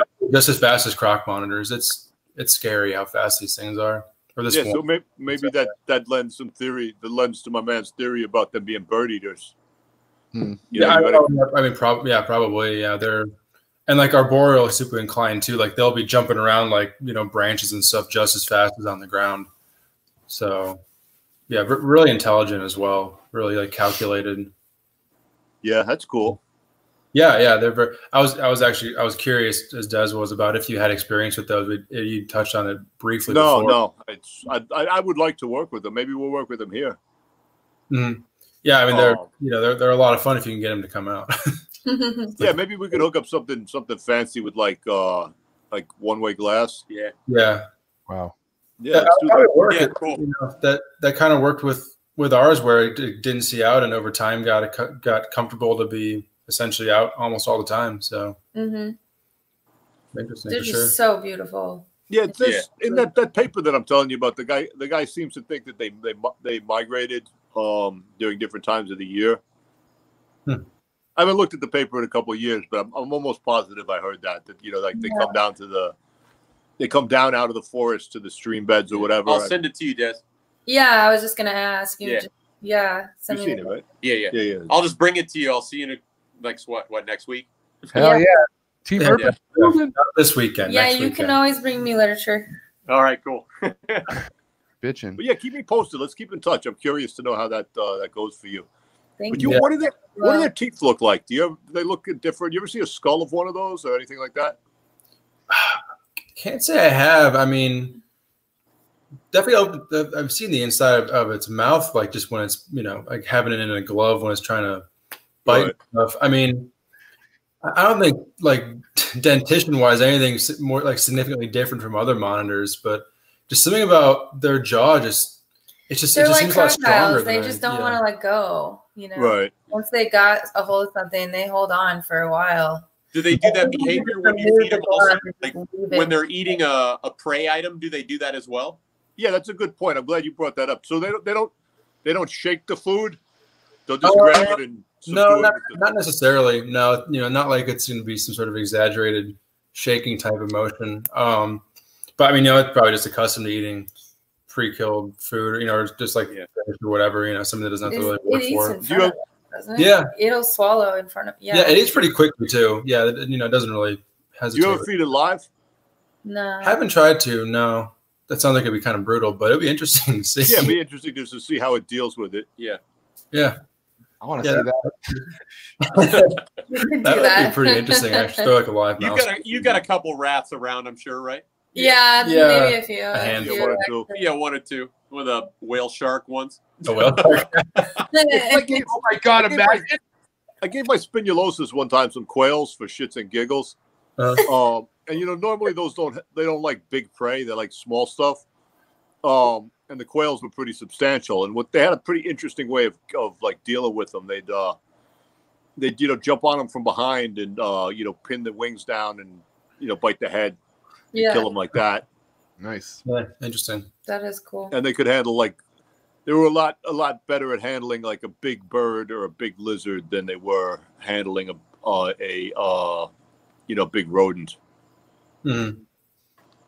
Speaking of prey size, have you ever given like very large prey to like a croc monitor or a, a komodo and like had to like pick it apart like some sort of large dead mammal? No, I mean they say that's important for komodos because it's like Muscles. yeah to Yeah. develop the neck neck muscle. hmm Yeah, never seen a croc monitor. Uh, I've tried. I've, I've given like like a rodent that was like a little bit bigger than what I would have been comfortable with, and they they would use their their claws to kind of like You got it. kind of shred it to hold it down a little bit. Yeah. But I never saw like tearing it apart like a like a like a larger varanid like a komodo or maybe even like a lace would do. Mhm. Um, it's more like uh, like a a really well orchestrated kind of Yeah, like a Feed. surgical strike. yeah yeah exactly. Hmm. Interesting. Yeah, Yeah, it'd be interesting like to maybe like uh like put like a finch in with your uh your yuwonoi see how it reacts to that. Yeah. That, yeah, it would be. Or like go to like Tractor Supply, get like a chick or something, just Mhm. throw it. in- Or even even better, a quail. That would make more sense because Yeah. it's- if it's true that they, they eat a lot of megapodes, that's more of you know. Yeah. Wow. So we got we got some uh, experimentation to do now. Yeah, some good stuff. this it would be really cool. You got Um, paper notation right there. Yeah, because not a lot of people work with you yuwonoi. Yeah. No, I mean, there's What a little hat. there's only a handful. No. really. Try- he was Just trying trying to to get- get some. Yeah. Yeah, Yeah. I got I would I have those. people looking out. So if you know, if you come across something, let me know. Uh, so yeah, if you're looking for a male, you said. Either right I mean, now, we really 'cause don't I don't know. know for sure what it is. Yeah. Not sure. Not sure the sex on it, but definitely got to figure that thing out. Yeah, I do have an ultrasound. Cheater. Yeah, well, good luck. Keep us posted on that. That's Yeah. Bragging about the ultrasound. Yeah, that would be super cool. Tho- That's a species that needs to be bred. That's a species that needs to be bred more consistently in captivity. Have they ever- Yeah. I don't think then anybody's they'll bred in the U.S. Or so- works for them. Maybe in Germany. You said you, you got uh, experience with blue tail monitors. Yeah, when I was when I was when I was like what twenty, I had them. Okay, I so I never bred them, but Oh, okay. Because I just I've always heard that like MJ laughing. blue tails, blue tails and Yuwonoi are very like genetically very similar. Like you know they're very close related to each other. That I mean, have you had any insights on Yuwonoi based on on uh, Doreanus? um, that I can't say both because those it's like. I mean, I was when I was asking you what if you ever saw a skull. I saw a skull of a Doreanus one time. Okay, that more looked like a uh, a croc monitor skull than a mangrove monitor skull. yeah, yeah. We, we have uh like a subadult to adult pair of those as well, and they're they're also very reclusive. Like you know they'll they'll be hiding Mhm. 95 percent of the day. Um, but yeah, that's another one we really hope to reproduce. But really, nobody's nobody's Yeah, breeding it's them. interesting. You know, those are common per se. Yeah, They're, you know, I've, I've never heard of those being being bred. Mhm. I mean they're you know they're amazing. They can be Oh yeah, they're a large, like fantastic thick animal. and their bites are probably comparable to a juvenile croc monitor. Like they're Yeah. no big go. Very Cool. So I think that they got the closest dentition to croc monitors also. Mhm. makes sense. Yeah, they're they're Yeah, I they're- would pass on getting bit by that. yeah, right. Yeah, wel- welding gloves all day. Um, I want to talk about your Komodo real quick. Um, Yeah. if that's okay with you. Yeah.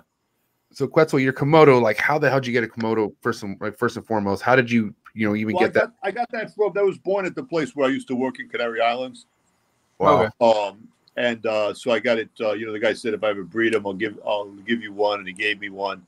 Um, and uh, you know, there's strings attached. I got to donate a thousand euros a year to a conservation fund. That's awesome. Um, and uh, yeah, she did have a parthenogenic baby, which was kind of cool. Wow. Uh, she lays every eggs every year, every March.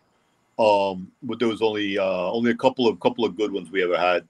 There's one went full term and died, and the other one came out like a little funky. It was like the tibia was split, Uh-huh. and it had like uh, it had a, like one claw on the end of it. Wow. You never Uh, told me about that. That's oh, cool. no, I never told you. No, you never told me Yeah, so it about looked like you know, I, we cracked jokes when we took pictures of it. Like, yeah, somebody somebody must have hybridized this with a veiled chameleon because that's what it looked like. But it was like, yeah, the bone the bone was split. Uh, But I mean, it that didn't live long. That only survived a couple of months. But I mean, who knows what else what what else was wrong with it? And how old, how old is your Komodo? Uh, she's like 14 now. Wow. That's that's a pretty good age. Yeah, She's Yeah. big. She must be big, right? not terribly. She's not a big individual. I'd say. Uh, I'd say she's about like six and a half feet. So the like male, the males are the ones that get that. Yeah, males are the ones that get big. Females are not. Would you ever? are- I mean, have you ever like? Are you on the look for a male or anything like that? I mean, Oh what- yeah, I've, I've tried to give male the mail for years. I've pretty much given up. Oh. You know, Right. it's like they just they the, the the powers that be don't want me to have one. Same. That's how it works with a lot of this shit. Yeah, unfortunately. I'm, I'm I got my talents, but I'm not a pol- I'm not a politician. I don't you know. It's almost the way to be. You know, like don't give in to all the bullshit just for you know something like that. But I No, I mean it's not the way to be. I would like to have some komodos and breed them. yeah. That's, I mean, you, you're pretty confident you would have no issue with that, huh? oh no, I could give me a male, I'll breed them. give, me a male, give me a male, I'll give you 50 komodos within a couple of years. Fuck, man. Get this guy a male. Just get him one male, please. We gotta. Let's all come together as a community. Like, hello, Right. Let's figure this out, man. We, we can We'll get do it up here. It'll be easier. Yeah, Oh man, just that imagine. says. Um, now, what, what zoo- zoos do you know of in uh, United States, Ari, or any of you guys uh, that have komodos? Oh, Oh, lots, a lots, lots. Yeah. yeah. They're they're not a they're Mhm. not an uncommon animal by any means. Uh, it's just you know they they require a lot of space. That's the thing, you know, and uh, you know that that's about it. So, uh, but they're they're super cool. I love komodos. I, I, I'll be I'll be flat out honest with you though. Though I, I prefer croc monitors over komodo any day. Yeah. Ooh, that's cool. Yeah, that's just my. I mean, that's my opinion. I, I, I mean, they're both incredible animals. Komodo is obviously iconic. It's a Komodo dragon. You know, it's Yeah. yeah, it's That's a very That's different. animal. Yeah, very. Uh, and, and the croc monitors are, are very intelligent looking uh, and behavior wise. I mean, you guys know you have them. You know, you can Yeah. you can actively look at an animal, and Yeah. when it looks back at you and it's ahead of the game by a step, you know you're dealing with something a little Yeah. you know a little different. yeah Incredible. yeah. There's there's truly nothing like it. Yeah. Yeah. Really. Yeah. And I've been fortunate to be around a couple Komodo dragons only for for brief encounters, but like coming away from them, like, well, I, yeah, the croc monitors, there's some extra dimension there that I, I don't Yeah. think was Komodo. I don't. Yeah. I don't really have experience with them at all, but, uh, Yeah, exactly. It's a very Yeah. it's a very primitive kind of. uh I, I would say Behavior. I would say the life of a croc monitor is more is more complex. Mhm. Mhm. You know, Yeah. like their uh, like their diet involves more problem solving. Right. It's, it's, it's specialized. Yeah, it's very special. And uh, Right. arboreal lifestyle to it too. Yeah. Komodos Exactly. aren't climbing all the way up in trees and stuff like that as Mhm. adults. I think that's uh, that that was one of the crazy things I learned going to Corey's is because Corey has I think they're 18 feet by 20 or something I don't know, but they're really really big, and all his crocs were at the very very very top of the enclosures. Yeah. Um, And I was like, damn it, this is nuts. You know what I mean? Like these fools hang out on the top of the trees, basically. Yeah, right. It's like Or- like an, an eight foot an eight foot vertical cage is not arboreal. Yeah. I mean that's what we do because that's the options we have. But Mm. Right. Yeah, I hear you. I mean, just imagine seeing that in the wild though, like an eight foot fucking croc monitor, like on the Yeah. top of the tree. There's I would- a uh, there's a great uh, notation I, I remember. I can't remember what. I think it was in Daniel Bennett's uh, monitor book. And it, I mean, I, I might be wrong, but I remember reading it. It was one of the first times I was reading about them. This was years and years and years ago, and there was uh, they talked about um, uh, like record lengths with them, you know, reaching certain sizes, and there was like some ridiculous like um, statement saying, you know, like 12 or 13 feet, like this huge reported animal.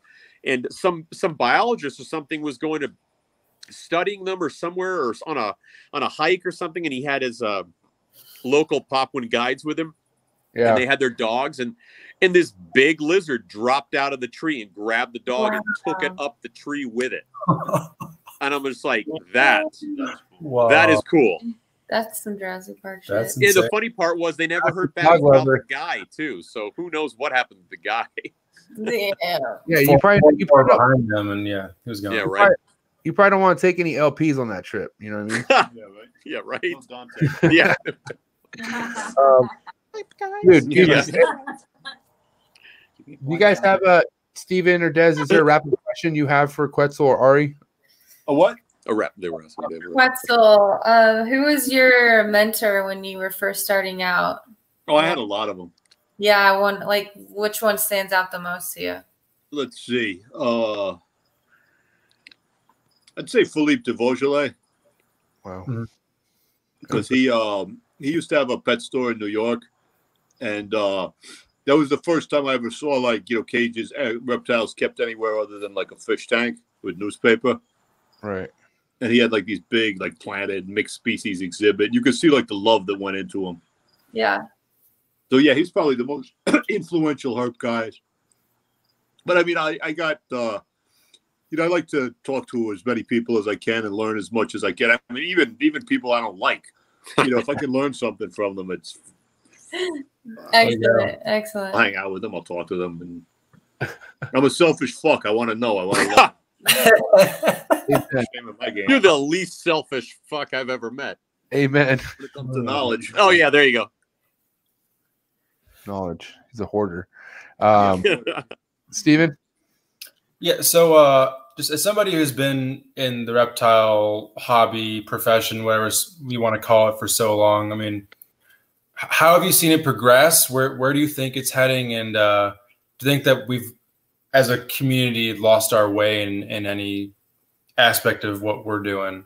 Well, it comes in cycles. I mean, it's like I'm not into that like popsicle popsicle neck ball python bullshit. You know, it's like you know we're not in you know we're not in Blade Runner days yet. You know, there's a lot of there's a lot of really cool stuff out there that nobody pays attention to. Yeah. He said Blade Runner days, man. If you don't know that movie, fuck. That shit's Great movie. wow. great. Great a movie. that's one of my Classic. favorites. I'm watching that tonight. Yes. wow. Yeah, you remember my favorite line in the movie? And she's like, he says to like uh, it's like a stripper type of chick. He's like, "Was that a real snake?" And she's like, "Would I be working at a place like this if I could afford a real snake?" Aw. Christ. Classic movie.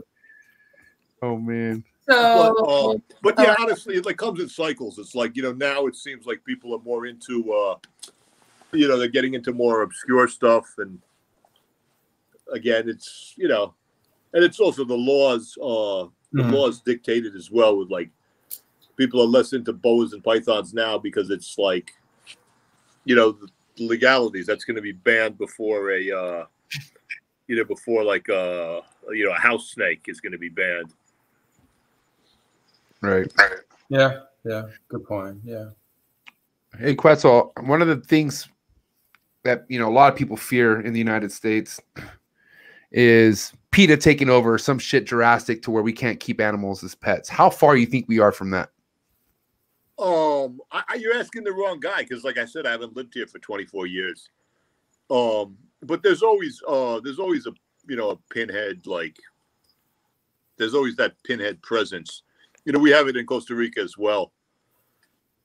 Um, and you know, it's like you know, there are all these laws trying to pass all these laws, like okay, you can't touch animals and this that, but meanwhile they're using Roundup by the side of the road and stuff like that. And you know, my theory on that, and what I always tell people, it's just like it's like okay, first of all, the damage that uh, the reptile hobby does is really minimal. I'm not saying it's nothing because there is stuff that does get over collected, like, but um. Uh, there's stuff that gets released. There is stuff that gets over collected, like those Lygodactylus williamsi, those blue geckos from some just like one mountainside in Yeah. Tanzania.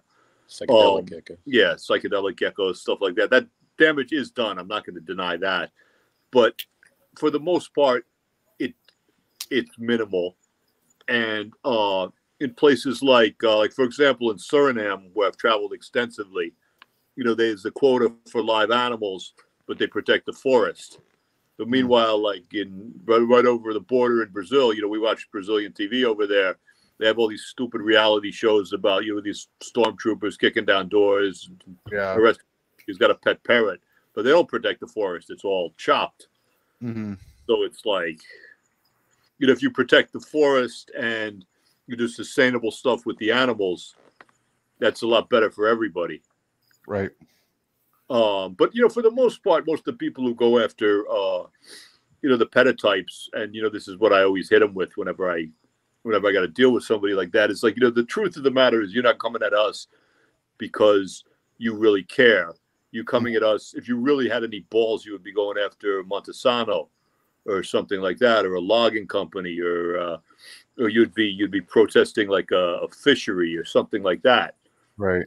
That you know, sense. because in theory, according to them, animal people are uh, easy targets, Right. and it's only uh, it's only recently that you know there's like uh, PIJAC and stuff like that have got organized. In Costa Rica, we had to we organized the union as well and got some laws repealed as well Hmm. for that.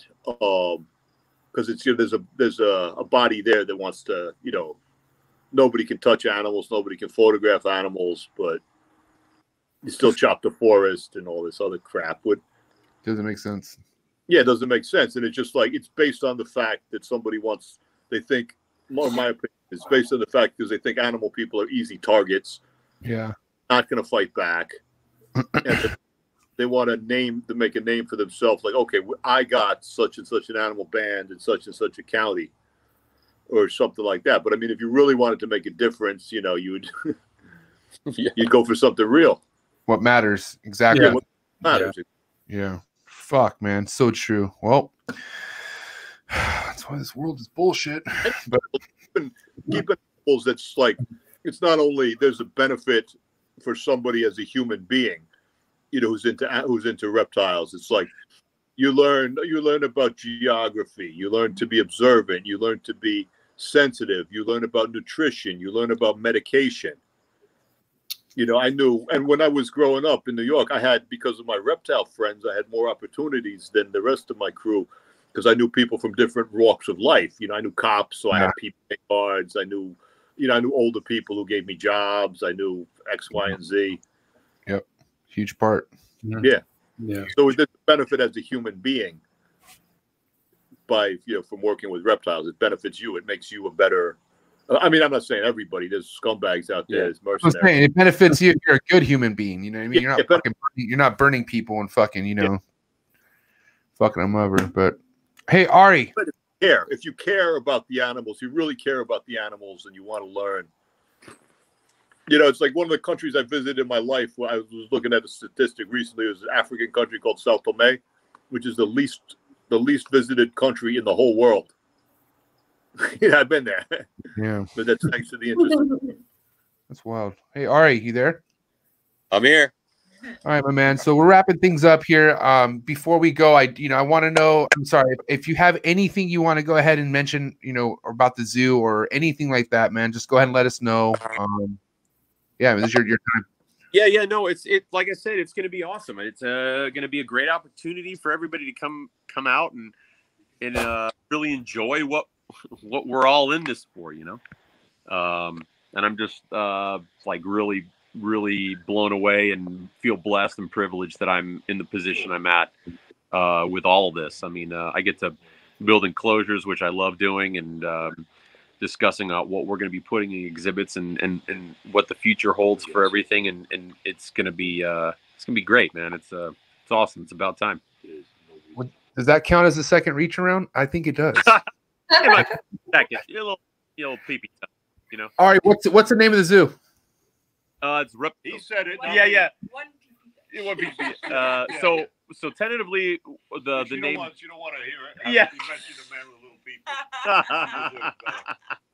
What so tentatively the the name is Reptilandia Reptile Lagoon. So Reptile Lagoon, or wait, let's say that. one. Reptilandia. Reptilandia Reptile Lagoon. Yeah. Because I want to, you know, use the name from CR as well. Yeah. What's and what's the name over in CR? What's the CR name? The CR name is Parque Reptilandia. Parker Randoland. Oh, all right, all right. Bitchin'. Reptilandia. That's pretty hard. There it Yeah. is. Logo. All right, Ari, you're the man. Thank you so much for setting this up, bro. I swear to God, I'm gonna give you so many hugs when I see you in Arlington. It's gonna be Cool. ridiculous. Hey, thank, having No, no, no. We enjoyed it. yeah, yeah. Thank you then- hey, guys. Thank so you guys for taking the time to have us come on. I mean, it's uh, uh I always enjoy talking to you guys. It's great. I'm, and I'm glad it worked out where I mean, Mhm.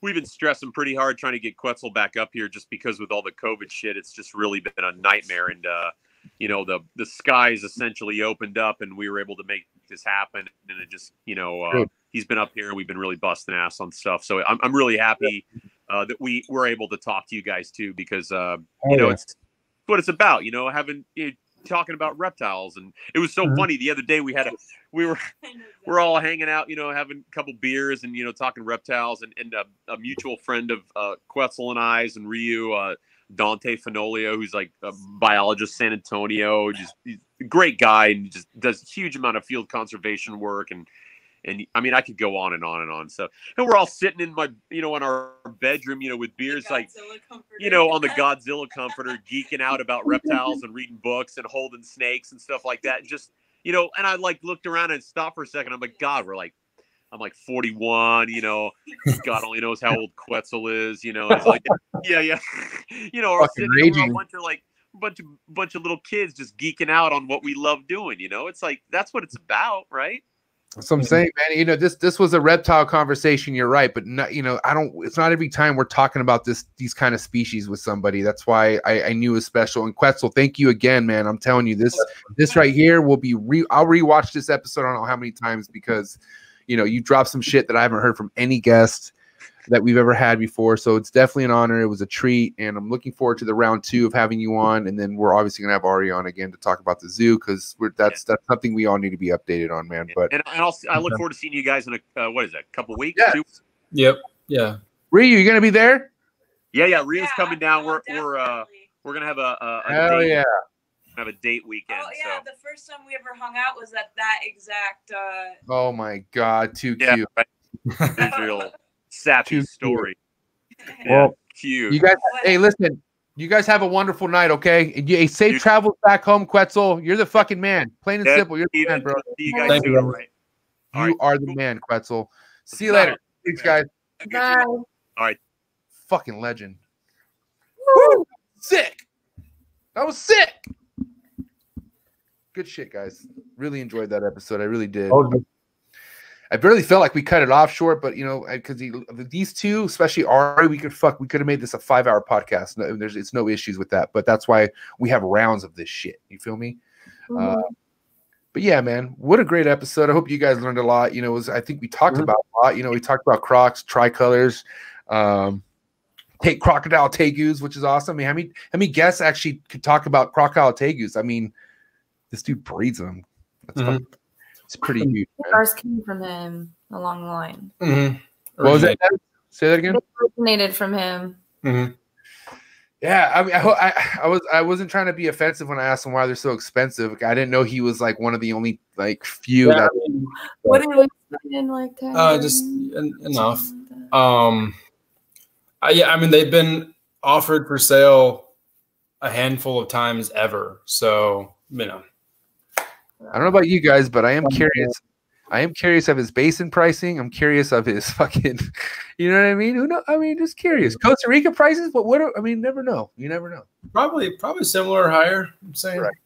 but uh, yeah, But and definitely like a lot of like natural history knowledge that we haven't gotten a lot from other guests necessarily. You know, his his his knowledge of like just like the microclimates that some of these will you know species come from. For one, he's been to a lot of these places. I mean, we you know Yeah, that's he listed off like the number of places he's been to, just like quickly, a few of them. Yeah, I mean, he's been around forever, done a lot of field herping, and knows a lot of people who've been out in the field. Like, he has like these little snippets of knowledge about the climate and just like the environment, the food sources, how they change throughout the year. That, I mean, you know, few other people would would really have that we'd have the opportunity to talk to. So well, let's be let's let's let's be honest. What fucking ninety eight percent of the people in this hobby only envision what it's like for these things to be in the wild. They don't actually go there and see it. Maybe like ninety five. I five. love what he said about like, okay, yeah, just because their climate seems rainy, they're in a dry hole. Right. You don't think that right No. off, you know. You just assume, right? Just like Mhm. also the feeding thing, like oh, just because the snake's fucking coming out of the glass doesn't mean you should feed the fucker. You know what I mean? Like, so a lot of lot of things I learned in this episode for sure. So I'm definitely gonna be rewatching this. Yep. Um, definitely appreciate anyone who watches this, all the subscribers. Please like, share, comment, all that good stuff. Arlington, you could see us three at Arlington if you really want to fuck with us. I'm looking forward to hanging out with them. I, can, I actually get to fucking meet Des for the first time, which is dope. Like I'm I know her really well just with this podcast, but looking forward to hanging out with you guys. Lars will be in the building. No, He's too much. I know. is- I thought about You- we would be you like reaching up and grabbing deli cups, throwing them and shit, and it'd be a if disaster. you want to hang out with Lars, and I tell Dave Levinson this too, you have to come to his his zone. I have Like, to go to his building. Lars doesn't yeah, move. Lars doesn't He's travel. attraction. He is the attraction, but no, he's just 150 miles an hour all day long. Like, if I do this, I would have to hire like a full time nanny because I, I wouldn't even be able to talk to people. I would be chasing him everywhere. Like he This fool was he was swinging the fucking he was swinging the the uh what was he swinging today on the oh, the forklift? He was fucking just Yeah. freaking forklift, man. He's so savage. Like. He's like he knows exactly what goes on on that thing. He just runs to it every time I bring him there. That's what he wants to do. I love seeing Lars's stories. I like when I see Lars is on a story, I'm like, all right, this is great. It gets me all happy because it's exciting stuff. Because you always look at the kid's face and he's having the time of his life. Always, yeah. Yeah. He's he's so on fire right now. So yeah, it is just just safer for everybody if he's um contained. Containment, complete containment, fucking locked But up. I'm hoping once he's like, you know, once he's a couple years old, that I'll be able to bring him to the shows and he'll listen and Right. you know stay by my side and stuff. But right now, it's just impossible. I don't even take him to the grocery stores. Like I, he no. Mm-mm.